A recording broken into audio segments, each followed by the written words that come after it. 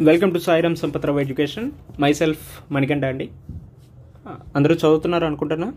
So already English paper కూడా complete అయిపోయి ఉంటుంది. సో ప్రజెంట్ ఇప్పుడు ఉచితాల గురించి ఎస్ఏని డిస్కస్ చేసుకుందాం. సో రో- రేపు వచ్చే ఎస్ఏ టాపిక్స్లో అరౌండ్ ఒక ఫిఫ్టీన్ టు ట్వంటీ గురించి ట్వంటీ టాపిక్స్ చెప్తాను. సో మేబీ ఈ థీమ్స్ని మీరు ఫోకస్ చేసుకుని చదువుకోండి. ఈ తక్కువ టైంలో అరౌండ్ ఫోర్ అవర్స్ సో మీరు వీలైతే టూ ఎక్స్ స్పీడ్లో కూడా వినుకోవచ్చు. సో మీకు తొందరగా అయిపోతుంది. At the same time themes కూడా గుర్తుంటాయి. సో ఎగ్జామ్లో రాయడానికి కూడా మంచి స్కోప్ ఉంటుంది. రైట్ ఈరోజు ప్రత్యేకంగా ఫ్రీ బీస్ గురించి చదువుకున్నాం ఉచితాల గురించి. సో ఎన్నాళ్ళు దీపావళి రోజున లక్ష్మీదేవి వస్తుందని మనం తలుపులు తెరిచేవాళ్ళం. ఇప్పుడు ఎన్నికలు ఎప్పుడు వస్తాయో అప్పుడు తెరుస్తున్నాం. సో ఈ విధంగా ఫ్రీ బీస్ అనేవి ఉన్నాయి అనేసి మనం చెప్పుకోవచ్చు. Right political parties promise to offer free electricity and water supply and monthly allowances to unemployed and daily wage workers and women as well as gadgets like laptop smart phones etcetera in order to secure the vote of the people so ప్రజల దగ్గర ఓటుల్ని దక్కించుకోవాలనే ఉద్దేశంతో రాజకీయ పార్టీలు ఏం చేస్తున్నాయి? Free electricity అంటున్నారు. లేకపోతే free water అంటున్నారు. అన్ఎంప్లాయీస్ మనలాంటి అన్ఎంప్లాయీస్కి ఏం చేస్తున్నారు? మంత్లీ అలవెన్సెస్ ఇస్తామంటున్నారు. డైలీ వేజ్ వర్కర్స్కి మంత్లీ అలవెన్సెస్ ఉమెన్కి గ్యాడ్జెట్స్ ల్యాప్టాప్స్ స్మార్ట్ ఫోన్స్ వీలైతే స్కూటర్లు లారీలు అన్ని బళ్ళు కూడా ఇస్తానంటున్నారు సో ఈ విధంగా ప్రజల దగ్గర ఓట్లు అడుక్కోవాలనే ఉద్దేశంతోనే ఈ ఎన్నికల హామీ చేస్తున్నారు. సో ఇటువంటి వాటికే మనం కూడా ఆకర్షణ పడి ఇటువంటి ప్రభుత్వాన్ని ఎన్నుకోవాల్సి వస్తుంది. అల్టిమేట్గా మనం సమస్యలకు ఎదుర్కొంటున్నాం. So over the years of the freebies have become integral part of the politics in India so స్వాతంత్రం వచ్చిన తొలినాళ్ళల్లో ఫ్రీబీస్కి అంత ప్రాముఖ్యత లేదు. ఎప్పుడైతే ఈ కొయిలేషన్ పార్టీస్ రీజనల్ పాలిటిక్స్ ఇవన్నీ పెరిగాయో ఈ ఫ్రీబీస్ కూడా పాలిటిక్స్లోనూ ఎలక్షన్స్లోనూ అంతర్భాగం అయిపోయాయి. రైతు రోత రైతు రుణమాఫీ పథకాలు ఇలా. అయితే నాణ్యానికి ఒకవైపు ఫ్రీబీస్ అనేవి మంచిదని చెప్తున్నారు. అయితే ఫ్రీబీసు అసలు మంచిది కాదు దీన్ని ఎంత తొందరగా వీలైతే అంత తొందరగా తీసేయండి అని చెప్తున్నారు. ఒకవేళ ఫ్రీబీస్ ఇచ్చినా ఎలక్షన్ మేనిఫెస్టోస్లో వేయండి. ఆ ఎలక్షన్ మేనిఫెస్టోస్ కూడా చట్టబద్ధత ఉండేటట్టు చేయండి. అప్పుడే ఈ ఫ్రీబీస్కి వాల్యూ ఉంటుంది అనేసి కొంతమంది అంటున్నారు. అసలు ఈ ఫ్రీబీస్ యొక్క ఫేవర్స్ ఏంటి? ఫ్రీబీస్ ఎగినెస్ట్ ఏమంటున్నారు? ఇటువంటి అన్ని అంశాల గురించి మనం డిస్కస్ చేసుకుందాం. సో వీటిని ఇంటర్లింక్ చేసుకుని మనకు క్వశ్చన్స్ అడుగుతారు. ఫర్ ఎగ్జాంపుల్ ఈ ఫ్రీబీస్ అనేది ఎలక్షన్స్లో సంబంధించినటువంటి అంశం. ఎలక్షన్ రిఫార్మ్స్లో ఏదైనా మార్పులు చేయాలంటే ఈ ఫ్రీ బీస్లో కొన్ని మార్పులు చేయాలని చెప్పొచ్చు. క్రిమినలైజేషన్ ఆఫ్ పాలిటిక్స్ గురించి చెప్పొచ్చు పార్టీ ఫిరాయింపుల గురించి స్టేట్ ఫండ్ ఆఫ్ ఎలక్షన్స్ గురించి సైమల్టేనియస్ ఎలక్షన్స్ గురించి రైట్ ఈ విధమైనటువంటి అన్ని అంశాలు కూడా మనకి ఎలక్షన్ రిఫార్మ్స్లో వస్తాయి. సో ఎలక్షన్ రిఫార్మ్స్కి సంబంధించినటువంటి ఏ అంశాలు ఇచ్చినా ఈ ఫైవ్ టు సిక్స్ అంశాలు ఖచ్చితంగా యాడ్ చేయండి. రైట్ ఇకపోతే ఫ్రీబీస్కి సంబంధించి ఫేవర్ ఎందుకు? అసలు ఫ్రీబీస్ ఉంటే ఎందుకు మంచిదంటే essential for fulfilling expectations so state నుంచి ఖచ్చితంగా ప్రజలు కొన్ని అంశాలు ఆశిస్తారు. సో మనం ఇప్పుడు గ్రూప్ వన్ ఎలాగైతే పోస్ట్ పోన్ చేయాలని ఆశించామో అలానే ప్రభుత్వాల నుంచి ఖచ్చితంగా ప్రజలు మాకు ఇవి చేయాలని ఆశిస్తారు. సో ఆశించినప్పుడు ఖచ్చితంగా ఈ ప్రభుత్వాలు ఈ రాజకీయ పార్టీలు కూడా కొన్ని శబదాలు చేస్తాయి. అందువల్లనే ఇవి ఖచ్చితంగా ఉండాలనేసి ఒక ఫేవర్గా చెప్పారు. అండ్ ఆల్సో వీటి వల్ల సోషల్ స్టెబిలిటీ సామాజిక స్థిరత్వాన్ని తీసుకురావచ్చు. సో ప్రాపర్గా ప్రభుత్వ పథకాలు పేదవాళ్ళకి అందలేదు అంటే సోషల్ ఇన్ఈక్వాలిటీ ఎకనామిక్ ఇన్ఈక్వాలిటీ అనేవి పెరుగుతాయి. దీనివల్ల ఏమవుతుంది? సమాజంలో సామాజిక అస్థిరత్వం పెరుగుతుంది. ఈ సామాజిక అస్థిరత్వాన్ని ఆర్థిక అస్థిరత్వాన్ని రూపుమాపాలన్నా తగ్గించాలన్నా ఖచ్చితంగా ఫ్రీబీస్ ఐ మీన్ ప్రభుత్వ పథకాలనే ఉండాలి. అయితే ఫ్రీబీస్కి సంబంధించి ప్రత్యేకంగా డెఫినేషన్ అనేది లేదు. సో ఎవరికి నచ్చినట్టు వాళ్ళు అనుకుంటున్నారు. సో మనం కూడా అలానే అనుకోవాలి. రైట్ ఇకపోతే ఈ ఫ్రీబీస్ వల్ల సంక్షేమ రాజ్య స్థాపన సాధించవచ్చు. సో మనకి డిపిఎస్పి ఆదేశిక సూత్రాల్లో వెల్ఫేర్ స్టేట్ అనేది ఏర్పాటు చేయాలనే ఒక నిబంధన ఉంది. సంక్షేమ రాజ్య స్థాపన ధ్యేయంగా ఈ ఆదేశిక సూత్రాలను కూడా ప్రవేశపెట్టారు. సో ఈ విధంగా సంక్షేమ రాజ్య స్థాపన ఈక్విటబుల్ సొసైటీని సాధించాలంటే ఈ ఫ్రీబీస్ అవసరంగా చెప్పుకోవచ్చు. సో ముఖ్యంగా article thirty nine clause B అదేవిధంగా థర్టీ నైన్ క్లాస్ సి సంపద సృష్టీకరణ అనే దాన్ని మేజర్గా పెట్టుకున్న సంపద వికేంద్రీకరణ చెయ్యాలి. సో వెల్త్ కాన్సన్ట్రేషన్ అనేది కొంతమంది చేతుల్లోనే ఉండకూడదు. సమ సమాజ స్థాపనే ధ్యేయంగా ఈ article thirty nine clause B and thirty nine clause C అనేవి తీసుకురావడం జరిగింది. సో ఈ విధంగా ఫ్రీబీస్ వల్ల సంక్షేమ రాజ్య స్థాపన వెల్ఫేర్ స్టేట్ను కూడా ఏర్పాటు చేయవచ్చు. అట్ ది సేమ్ టైం ఆదాయ అసమానతలు ఇన్కమ్ ఇన్ఈక్వాలిటీస్ని కంట్రోల్ చేయవచ్చు అణగారిన వర్గానికి సంబంధించిన వారు చాలా త్యాగాలు చేస్తున్నారు. రోడ్లు పరిశ్రమలు డ్యాముల కోసం వారి యొక్క స్థావరాలను త్యాగం చేస్తున్నారు సో ఇటువంటి త్యాగాలన్నిటికీ కూడా మనం ఖచ్చితంగా రుణపడి ఉండాలి. సో ఈ రుణం అనేది ఎవరు ఇవ్వాలంటే ప్రభుత్వమే వాళ్ళకి రుణపడి ఉండాలి. సో దానికి గానే వీళ్ళు చేస్తున్న కృషి శ్రమకు గానే ఈ ఉచితాలు ఉండాలి అనేసి ఈవెన్ నైన్టీన్ ఎయిటీస్లో వరల్డ్ బ్యాంక్ కూడా చెప్పింది.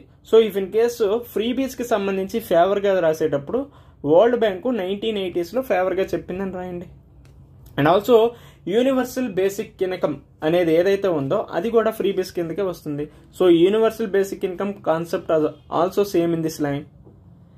Right ఇది మాత్రమే కాకుండా ఇది చాలా వరకు గ్రోత్ వృద్ధిని సాధించడానికి కూడా ఇది అవుతుంది for example public distribution scheme అవ్వచ్చు public distribution system mid day meal scheme right employment guarantee scheme పనికి ఆహార పథకం సపోర్ట్ టు ఎడ్యుకేషన్ ఇప్పుడు అమ్మఒడి నాన్న గొంతుతడి ఇటువంటి పథకాలన్నీ ఉన్నాయి కదా. ఇవన్నీ కూడా లాంగ్ టర్మ్ బెనిఫిట్స్ తీసుకొచ్చే విధంగా ఉంటాయి. సో ప్రజలకి డబ్బులు ఇస్తున్నామనే దానికంటే ఇవి లాంగ్ టర్మ్ ఇంపాక్ట్ అనేవి చూపిస్తాయి. సో దీనివల్ల ఏమవుతుందంటే ఇవి గ్రోత్ని తీసుకురావడంలో ముఖ్య భూమిక పోషిస్తుంది. And also it is necessary part of any growth strategy so ఏ వృద్ధికి సంబంధించినటువంటి వ్యూహాల్లో అయినా లాంగ్ టర్మ్ బెనిఫిట్స్ని మనం ధ్యేయంగా పెట్టుకొని పనిచేయాలి. సో అందులో భాగంగానే ఈ ఫ్రీబీస్ అనేది కూడా లాంగ్ టర్మ్ బెనిఫిట్స్ ఇవ్వడానికి స్కోప్ ఉంది. రైట్ ఇది మాత్రమే కాకుండా పరిశ్రమలకు వ్యాపార సంస్థలకు సంవత్సరంలో పెద్ద మొత్తంలో ఇన్సెంటివ్స్ అందిస్తున్నారు. అలాంటప్పుడు వాళ్ళకే ఇన్సెంటివ్స్ అందించినప్పుడు అసలు సంక్షేమ రాజ్యాన్ని వెల్ఫేర్ స్టేట్ని అందించాలని రాజ్యాంగంలో కల్పించినప్పుడు మరి పేదవాళ్ళకి ఎందుకు ఫ్రీబీస్ ఇవ్వకూడదు? ఎలా అయిపోయిందంటే పరిశ్రమలకి లేకపోతే పెద్ద పెద్ద ఇండస్ట్రీస్కి ఇన్సెంటివ్స్ సబ్సిడీస్ అని పెద్ద పెద్ద పదాలు ఆడుతున్నారు. పేదవాళ్ళకి ఇచ్చేటప్పుడు ఫ్రీబీస్ అనే పనికి మళ్ళీ మాట్లాడుతున్నారు. సో ఈ విధంగా ఈ టెర్మినాలజీస్లో కూడా చాలా డిఫరెన్సెస్ ఉన్నాయి. అర్థం చేసుకోండి. సో ఈ డిఫరెన్సెస్ వల్ల ఈ పదాల యొక్క డిఫరెన్సెస్ వల్ల కూడా చాలా మార్పులు వస్తున్నాయి. రైట్ అదే ఇండస్ట్రీస్కి ఫ్రీబీస్ అని చెప్పి పేదవాళ్ళకి ఇన్సెంటివ్స్ అనండి. అలా మాట్లాడరు. సో ఈ విధంగా ఇండస్ట్రీస్కి ఇన్సెంటివ్స్ ఇచ్చినప్పుడు పేదవాళ్ళకి ఫ్రీబీస్ ఇవ్వడంలో తప్పేముంది? సో అందుకని ఫేవర్గా మాట్లాడచ్చు కదా. అండ్ ఆల్సో ఈ ఫ్రీబీస్ వల్ల కూడా ఇండస్ట్రీస్ బూస్ట్ అవ్వచ్చు. రైట్ ఫర్ ఎగ్జాంపుల్ స్కూటర్స్ లేకపోతే శారీస్ ఇస్తామని లేకపోతే మిషన్స్ వాషింగ్ మిషన్స్ ఇస్తాం అన్నప్పుడు ఇప్పుడు వాషింగ్ మిషన్ రిలేటెడ్ అయితే వాషింగ్ మిషన్ ఇండస్ట్రీస్ అవన్నీ డెవలప్ అవుతాయి. స్కూటర్స్ అయితే స్కూటర్ రిలేటెడ్ ఆటోమేషన్ ఇండస్ట్రీ అంతా డెవలప్ అవుతుంది. శారీస్ అనుకో ఇప్పుడు మన తెలంగాణ రాష్ట్రంలో ఇంతకు ముందు బతుకమ్మ చీరలు ఇచ్చేవారు. దీనివల్ల ఏమైంది? సిరిసిల్ల ఏరియాస్లో ఉన్నట్టు వాళ్ళందరూ కూడా చేనేత పరిశ్రమ మీద ఎక్కువగా ఆధారపడ్డారు. దానివల్ల వాళ్ళకి ఉద్యోగాలు కూడా కల్పన జరిగింది కదా. సో ఈ విధంగా ఫ్రీబీస్ వల్ల పరిశ్రమలను కూడా బూస్ట్ చేయొచ్చు. ఇంకా హెల్ప్స్ లెస్సర్ డెవలప్డ్ స్టేట్స్ ఏవైతే లెస్సర్ డెవలప్డ్ స్టేట్స్ ఉన్నాయో అక్కడ పావర్టీని తగ్గించవచ్చు పూరర్ సెక్షన్స్ని అప్లిఫ్ట్ కూడా చేయొచ్చు. ఈ విధంగా ఫ్రీబీస్ వల్ల ఇనీక్వాలిటీని కూడా ఆదాయ అసమానతలను కూడా మనం కంట్రోల్ చేయవచ్చు. రైట్ ముఖ్యంగా కోవిడ్ నైన్టీన్ పాండమిక్ వంటి సమయంలో ఈ ఫ్రీబీస్ అనేవి చాలా ఇంపార్టెంట్గా కూడా మనం చెప్పుకోవచ్చు. అందుకనే ఈ ఫ్రీబీస్కి ఫేవర్గా అనేక మంది మాట్లాడటం జరుగుతుంది. నాణ్యానికి ఒకవైపు చూస్తే సరిపోదు కదా? ఇంకొక వైపు కూడా చూద్దాం. సో అసలు ఎందుకు దీనికి ఎగెనెస్ట్గా మాట్లాడుతున్నారు? అసలు ఏంటి ఆ సమస్యలు అనే అంశం చూస్తే it is against to the free and fair elections so భారతదేశ ప్రజాస్వామ్యంలో ఫ్రీ అండ్ ఫెయిర్ ఎలక్షన్స్ ఉన్నాయి ఉండాలి. ఇటువంటి ఉచితాలను మభ్యపెట్టి ఓట్లు వేసుకునే సంస్కృతి ఉందంటే ఖచ్చితంగా ఫ్రీ అండ్ ఫెయిర్ ఎలక్షన్స్కి విఘాతం కలుగుతుంది. సో మ్యాక్రో ఎకనామిక్ స్టెబిలిటీ అనేది కూడా దెబ్బతింటుంది. సో రాష్ట్రాలపై ఇది మరింత భారం పెరుగుతుంది. ఆల్రెడీ డెఫిసిట్లో ఏవైతే రాష్ట్రాలు ఉన్నాయో వాటి మీద మరింత భారం పెరుగుతుంది. సో వీళ్ళు ఏం చేస్తారు? అసలు రాష్ట్రాలకు వచ్చే రెవెన్యూ అనేది తక్కువ. రెవెన్యూ తక్కువ ఉండే ఎక్స్పెండిచర్ని ఎక్కువగా ఖర్చు పెడితే ఏమవుతుంది? ఖచ్చితంగా డెఫిసిట్ పెరుగుతుంది. పబ్లిక్ డెట్ పెరుగుతుంది. ఎగ్జాంపుల్ లైక్ మన పక్క రాష్ట్రంలో ఆంధ్రప్రదేశ్ తీసుకోండి ఒకప్పుడు రెండు వేల పంతొమ్మిదిలో మూడు కోట్ల డెబ్బై నాలుగు లక్షల పబ్లిక్ డెట్ ఉండేది. After two thousand nineteen to twenty four మధ్యలో ప్రజెంట్ ఆంధ్రప్రదేశ్ యొక్క పబ్లిక్ డెట్ తొమ్మిది లక్షల డెబ్బై వేలుగా ఉంది. మనది సిక్స్ ల్యాక్స్గా ఉంది. సో కంపారిజన్ చేసుకుంటే ఆఫ్టర్ బైఫరికేషన్ తర్వాత ఆంధ్ర తెలంగాణతో కంపారిజన్ చేసుకుంటే మనది ఆరు లక్షలుగా ఉంది. వాళ్ళదేమో తొమ్మిది లక్షల డెబ్బై నాలుగు కోట్లగా ఉంది. సో ఈ విధంగా ఫ్రీబీస్ ఇవ్వటం వల్ల రాష్ట్రాలపై మరింత భారం పడుతుంది అనే దాన్ని ఎగ్జాంపుల్గా చెప్పొచ్చు. And also physical stress physical sustainability పోతుంది ఫిజికల్ స్ట్రెస్ ఏర్పడుతుంది. దీనివల్ల ఏమవుతుంది? పబ్లిక్ ఎక్స్పెండిచర్ అనేది కూడా తగ్గిపోతుంది. దానివల్ల సోషల్ స్ట్రక్చర్ మీద కూడా ఎక్కువగా మనం డబ్బులు ఖర్చు పెట్టలేకపోతాం. సో సోషల్ ఎక్స్పెండిచర్ మీద సరిగ్గా ఖర్చు పెట్టకపోతే విద్య వైద్య సదుపాయాలు కూడా తగ్గిపోతాయి. దీనివల్ల ఇంక్లూజివ్ గ్రోత్ను కూడా సాధించలేం కదా. And also it destroys the credit culture so ప్రస్తుతం ఏదైతే క్రెడిట్ కల్చర్ ఉందో దాన్ని కూడా డిస్ట్రాయ్ చేసే ఇదైతే వస్తుంది. దీనివల్ల ఫిజికల్ డిసిప్లిన్ ఉండదు. ముఖ్యంగా రైతులకి రైతులు రుణాలు తీసుకుంటారు. వాళ్ళకే మనం ప్రాపర్గా అగ్రికల్చర్ని డెవలప్ చేస్తూ మెకనైజేషన్ అందించి మంచి సీడ్స్ మంచి ఇరిగేషన్ సౌకర్యాలు కల్పిస్తే వాళ్ళకి ఎందుకండి రైతులు రుణమాఫీ? మనం ప్రాపర్గా ఏవి ప్రొవైడ్ చేయకపోవడం వల్లే రైతులు రుణమాఫీ ఇస్తున్నాం. దీనివల్ల ఏమవుతుంది? క్రెడిట్ కల్చర్ దెబ్బతింటుంది. ఇక్కడ ఎవరికి రిటర్న్ ఆఫ్ చేశారు ఎవరికి రుణమాఫీలు ఇస్తున్నారు అనేది కాదు. నువ్వే గనక ప్రాపర్గా వాళ్ళకి అన్ని సౌకర్యాలు కల్పించావంటే వాళ్ళు సకాలంలో డబ్బులు కట్టేస్తారు. నీ మీద ఆధారపడాల్సిన అవసరం కూడా లేదు. బట్ అలా ఏమీ చేయకుండా నేనేదో చేశానని రైతులు రుణమాఫీ చేస్తున్నావు నువ్వు. అది సరైనటువంటి అంశం కాదు కదా. దీనివల్ల ఏమవుతుంది? క్రెడిట్ కల్చర్ డిస్ట్రాయ్ అవుతుంది. డ్వాక్రా సంఘాలు స్వయం సహాయక బృందాల్లో కూడా చాలా వరకు రుణాలు నిధి చేస్తున్నాం. ప్రాపర్గా నువ్వే కనుక మంచి అంశాలను తీసుకొచ్చి వాళ్ళని ఎమాన్సిపేట్ చేసి ఎంపవర్ చేసావంటే ఎవరికి రుణమాఫీలు అవసరం ఉండవు. ఆంధ్రప్రదేశ్ రాష్ట్రం అయినా తెలంగాణ రాష్ట్రం అయితే మిగతా రాష్ట్రం అయినా అది ఇండియాలో అయినా. రుణమాఫీలు ఎవరికి కావాలి? అభివృద్ధి కావాలి కదా. రైట్ అదేవిధంగా సెక్టోరల్ కొలప్స్ అనేది కూడా జరుగుతుంది. లోన్ వైవర్ వల్ల బ్యాంకింగ్ సెక్టర్ అనేది కొలప్స్ జరుగుతుంది. ఎలక్ట్రిసిటీ సబ్సిడీస్ వల్ల పర్యావరణ పరిరక్షణ అనేది దెబ్బతింటుంది. ముఖ్యంగా ఎలక్ట్రిసిటీ సబ్సిడీస్ ఎక్కువగా ఇస్తున్నారు సో నచ్చినట్టు కరెంటు వాడుతున్నారు వాళ్ళు నచ్చినట్టు భూగర్భ జల వనరులు తీసేస్తున్నారు. వాళ్ళకి అవసరం లేకపోయినా తీస్తున్నారు. ఎందుకంటే ఫ్రీ ఎలక్ట్రిసిటీ సో ఎవరికి ఎంత ఇవ్వాలో అంతే ఇచ్చామనుకో ఏ ప్రాబ్లం ఉండదు. వాళ్ళు అడిగిన దానికంటే నువ్వు ఎక్కువ ఇచ్చావంటే ఖచ్చితంగా సమస్యలు ఏర్పడతాయి. And also expenditure priority so ప్రభుత్వాలు దేని మీద ఎంత వ్యయం చేయాలో అంతే చేయాలి. అంతేగాని డబ్బులు ఉన్నాయి కదా అని ఇష్టాసరంగా ఎక్స్పెండిచర్ ఖర్చు పెడతాను అంటే అక్కడ ఖచ్చితంగా ఇంపాక్ట్ చూపిస్తుంది. అది ఫిజికల్ పాలసీ మీద అవ్వచ్చు అది మానిటరీ పాలసీ మీద అవ్వచ్చు ఇన్ఫ్లేషన్ మీద కావచ్చు లేదంటే సోషల్ సెక్టార్ మీద కూడా ఇంపాక్ట్ చూపిస్తుంది. సో ఎప్పుడైనా ఎక్స్పెండిచర్ని ఖర్చు పెట్టేటప్పుడు ప్రయారిటీ బేస్డ్గానే ఖర్చు పెట్టాలి. దేనికి ఎంత అవసరమో ఏది అత్యంత ఆవశ్యకమైనటువంటి అంశమో దాని మీద ఖర్చు పెట్టాలి. ఫర్ ఎగ్జాంపుల్ ఇప్పుడు మూసీ నది ప్రక్షాళన మీద ఖర్చు పెడుతున్నారు. అఫ్ కోర్స్ అది మంచి ప్రాజెక్టు ఎందుకంటే నదుల పునరుజ్జీవనం అనేది ఖచ్చితంగా ఉండాల్సిన అవసరం. అది పర్యావరణానికి కూడా పరిరక్షణ చేయబడుతుంది బట్ మూసీ ప్రక్షాళన కంటే ఇంకా ఎక్కువగా తెలంగాణలో సమస్యలు ఉన్నాయి వాటి మీద కూడా ఫోకస్ చేయాల్సిన అవసరం ఉంది కదా. అంటే జస్ట్ ఫ్రీబీస్కి లేకపోతే ఎక్స్పెండిచర్ ప్రయారిటీ బేస్డ్గా చెప్తున్నాను కానీ నేను ఏ ప్రభుత్వాలకి వ్యతిరేకం కాదు. సో ఏ ప్రభుత్వాలకి వ్యతిరేకము కాదు ఏ ప్రభుత్వాలకి ప్రోగా కూడా నేను లేను. And also wastage of resources అనవసరంగా వనరుల యొక్క దుర్వినియోగం జరుగుతుంది. సో ఎక్కువగా ఎలక్ట్రిసిటీ సబ్సిడీస్ ఇచ్చామంటో ముఖ్యంగా భూగర్భ జల వనరులు మొత్తం గ్రౌండ్ వాటర్ ఎక్స్ప్లోటేషన్ జరుగుతుంది. దీనివల్ల ఏమవుతుంది? ఎన్విరాన్మెంటల్ ఇంపాక్ట్ జరుగుతుంది. రైట్ అదేవిధంగా గ్రౌండ్ వాటర్ ఎక్స్ప్లోటేషన్ ఇది మాత్రం కాకుండా ఫిజికల్ ఇంబ్లా ఇంబ్యాలెన్స్ ఫ్రీగా ఇస్తే ఎవడైనా విడిగా ఖర్చు పెడతాడు. దీన్ని బ్యాలెన్స్ చేయాలంటే ఒకరు ఇంకొకరు. మనం ఏం చేయాలంటే కెపాసిటీ బిల్డింగ్ అప్రోచ్ను ఫాలో అవ్వాలి. సో మనకి అమర్త్యసేన్ సార్ అమర్త్యసేన్ గారు చెప్పినటువంటి కెపాసిటీ బిల్డింగ్ని ఫాలో అవ్వాలి. ఇది మాత్రమే కాకుండా చైనా దాంట్లో ఒక మంచి కొటేషన్ ఉంటుంది. సో మనం చేపలను అందించాలా చేపలు పట్టడం నేర్పించాలనేది దాన్ని బట్టి ఏదైనా అభివృద్ధి ఉంటుంది. సో వాడికి చేపలే అందించామనుకో వాడు చేపలు పట్టడం మర్చిపోతాడు. సో ఇఫ్ ఇన్ కేస్ మనం చేపలు ఇవ్వకపోయామనుకో ఖచ్చితంగా వాడు ఆకలితో ఉండి చచ్చిపోతాడు. చేపలు పట్టడం నేర్పించామనుకో అప్పుడు నీకోసం వాడు ఎదురు చూడడు. కానీ ప్రభుత్వాలు అలా ఉండవు. మనకి లీడర్ సినిమాలో ఆయన చెప్తాడు కదా సో ప్రజల్ని ఎలా వాడుకోవాలనేది రాజకీయ నాయకులకే తెలుస్తుంది. సో ఆ వాడుకునే దాంట్లో ఈ ఫ్రీబీస్ చాలా ఎక్కువగా ఉపయోగపడతాయి.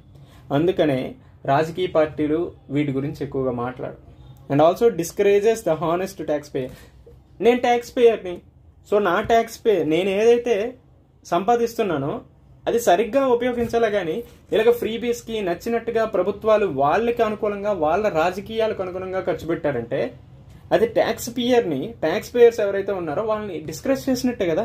అండ్ ఆల్సో ప్రొడక్టివిటీ కూడా ఫాలో అవుతుంది. సో నచ్చినట్టు డబ్బులు ఇచ్చామంటే ఖచ్చితంగా వాళ్ళని బద్దగస్తులు చేసినట్టే కదా? ఇఫ్ నాకు పని చేయాలని ఉంది నువ్వు నాకు పని చేయకుండా మూడు వేలు డబ్బులు ఇస్తున్నావు నెలకి దెన్ నేను ఎందుకు పని చేయాల్సిన అవసరం? సో ఈ విధంగా ప్రొడక్టివిటీ ఉత్పాదకత అనేది కూడా దెబ్బతింటుంది కదా? సో ఈ విధంగా ఫ్రీబీస్ వల్ల ఎగనెస్ట్గా చెప్తున్నారు.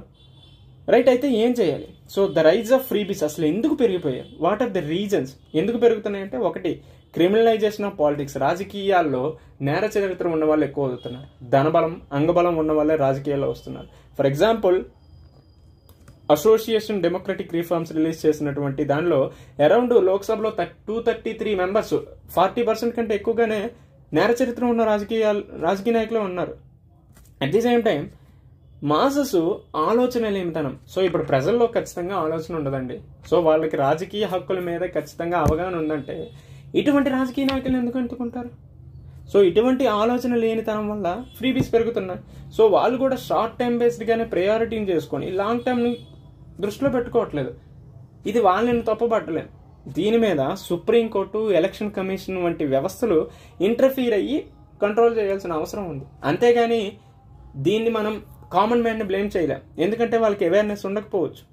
And also concealment of actual performance ప్రజలకు ఓటర్లకు మైండ్ సెట్ మారుస్తుంది. సో మాకు ఎంత డబ్బులు ఇచ్చావో దాన్ని బట్టే వస్తాము అనే మెంటాలిటీ కూడా పెరిగిపోయింది ఇటీవల కాలంలో. అండ్ ఆల్సో కలెక్టివిజం తగ్గి ఇండివిజువలిజం అనేది పెరిగింది. సో ప్రజల్లో కలెక్టివిజం తగ్గిపోయి ఇండివిజువలిజం పెరిగింది. మాకు నుండి ఉయ్ నుంచి అయిగి వెళ్ళింది. మాకు నుంచి నీకు మేము నుంచి నేను అనే భావన తీసుకొచ్చింది. దీనివల్ల కన్జ్యూమరిజం పెరిగింది మెటీరియలిజం పెరిగింది. సో ఇటువంటి సొసైటీలో బతుకుతున్నాం దీనివల్ల కూడా సమాజ శ్రేయస్సు కంటే పర్సనల్ ఇంట్రెస్ట్ మీద ఎక్కువగా ఫోకస్ చేయడం జరుగుతుంది. దీనివల్ల కూడా ఫ్రీబీస్ పెరిగాయి. And also domino effect big and coalition parties వీటి మధ్య పోటీ వాతావరణం కూడా పెరిగింది. సో పెద్ద పెద్ద రాజకీయ పార్టీలన్నీ పంచాయి అనుకో మేము గెలవడానికి రాష్ట్ర రాష్ట్ర ప్రాంతీయ పార్టీలు కూడా పంచుతాయి కదా. ఈ విధంగా డామినో ఎఫెక్ట్. ఇది ఎలా అంటే వైరస్ అంటువ్యాధిలాగా అన్ని రాజకీయ పార్టీలకి అంటుకుపోయింది. సో పాత కొత్త పార్టీలు వారసత్వంగా హిస్టారికల్గా వస్తూ ఉన్నాయి. సో హిస్టారికల్గా వంశపారంపర్యంగా వస్తున్నటువంటి రాజకీయ పార్టీలు తమ యొక్క అధికారాన్ని నిలుపుకోవటానికి ఖచ్చితంగా ఈ మార్గాల్ని అనుసరించడం జరుగుతుంది. అదేవిధంగా ఎన్నికల మీద ప్రజలకు కూడా నమ్మకం పోయింది. ఎవడొస్తే నాకేంటి ఎవడొచ్చినా నా బతుకులు మారు ఎవడొచ్చినా మన బతుకులు ఎందుకు మారుతాయి చెప్పండి? ఎవడొచ్చినా నా బతుకులు మారుతాయి. సో వీడొచ్చాడంటే నా బతుకు మారుతుంది. అన్నప్పుడు మనం డబ్బులు తీసుకోం. సో నా బతుకులు మారవు అనే దృష్టిలో ఉన్నప్పుడే మనం ఈ ఫ్రీ బీస్కి అలవాటు అవుతాం. సో ఇటువంటి వ్యవస్థ ఇప్పుడు నడుస్తుంది. సో ఈ విధంగా పెరుగుతున్నాయని చెప్పొచ్చు. What are the measures to control అయితే వీటిని ఏ విధంగా కంట్రోల్ చేయొచ్చు అంటే ఒకటి ఇంటర్నల్ పార్టీ డెమోక్రసీ ఏదైతే ఉందో దాన్ని కంట్రోల్ చేయాలి. గవర్నమెంట్ చేయాల్సిన పనులు ఏంటో ముందు తెలుసుకోవాలి. సో ముందు అందరికీ సెల్ఫ్ రెగ్యులేషన్ సెల్ఫ్ డిసిప్లిన్ ఉండాలని చెప్తున్న ప్రభుత్వాలు ప్రభుత్వాలకి కూడా ఏ పనులు మీరు చేయాలో వాటి మీద ఫోకస్ చేయండి. మిగతా అంశాలు ప్రజలు చూసుకుంటారు. నువ్వు కెపాసిటీ బిల్డింగ్ ఇవ్వు. అంతే సామర్థ్య నిర్వహణ చేసేటట్టుండు. అమర్త్యసేన్ అని చెప్పిన మోడల్ అంతేగాని నేను ఫ్రీగా ఇస్తాను ఖాళీగా కూర్చొని తిని పడుకోరా అంటే అవ్వదు. అదేవిధంగా ఎలక్షన్ కమిషన్కి పవర్స్ పెంచాలి. సో వాటికి డిస్క్వాలిఫికేషన్ అవ్వచ్చు డీరెగ్యులేషన్ ఆఫ్ పొలిటికల్ పార్టీస్ అవ్వచ్చు deregistration of political parties అవ్వచ్చు power to contempt model code of కండక్ట్ని లీగల్గా తీసుకురావడం ఇటువంటి అన్ని అంశాల వల్ల ఈసీఐకి పవర్ పెంచితే ఖచ్చితంగా ఫ్రీబీస్ని కంట్రోల్ చేయొచ్చు. And also representation of peoples act nineteen fifty one ఏదైతే ఉందో దాంట్లో కూడా సంస్కరణలు తీసుకురావాలి. Right and also strength the FRBM act physical responsibility budget and management act two thousand త్రీలో కూడా మార్పులు తీసుకురావాల్సిన అవసరం ఉంది. And also Subrahmanya Balaji case two thousand థర్టీలో ఏం చెప్పారంటే need a separate agency to checks this culture so ప్రత్యేకంగా ఈ సంస్కృతి ఏదైతే ఉందో దీనికి సంబంధించి ఒక ప్రత్యేకమైనటువంటి ఒక సంస్థని ఒక ఏజెన్సీని ఏర్పాటు చేయాలనేసి Subramanya Balaji case two thousand థర్టీన్లో కూడా చెప్పడం జరిగింది. రైట్ ఇది మాత్రమే కాకుండా పబ్లిక్ ఎక్స్పెండిచర్ని ఎఫిషియెంట్గా యూస్ చేయాలి. For example direct benefit transfers ఏవైతే ఉన్నాయో వాటిని ఎఫిషియెంట్గా యూస్ చేస్తున్నాం. దీనివల్ల దాదాపు రెండు లక్షల కోట్ల వరకు ఆదాయం ఏర్పడింది కదా. సో ఇటువంటి ప్రభుత్వ పథకాల మీద ఇటువంటి వ్యూహాత్మక చర్యల మీద ప్రభుత్వాలు దృష్టి పెట్టాలి. అంతేగాని ఫ్రీగా స్కూటర్ ఇస్తా ఫ్రీగా ల్యాప్టాప్ ఇస్తా ఫ్రీగా వాషింగ్ మెషిన్ ఇస్తా ఫ్రీ కరెంట్ ఇస్తా.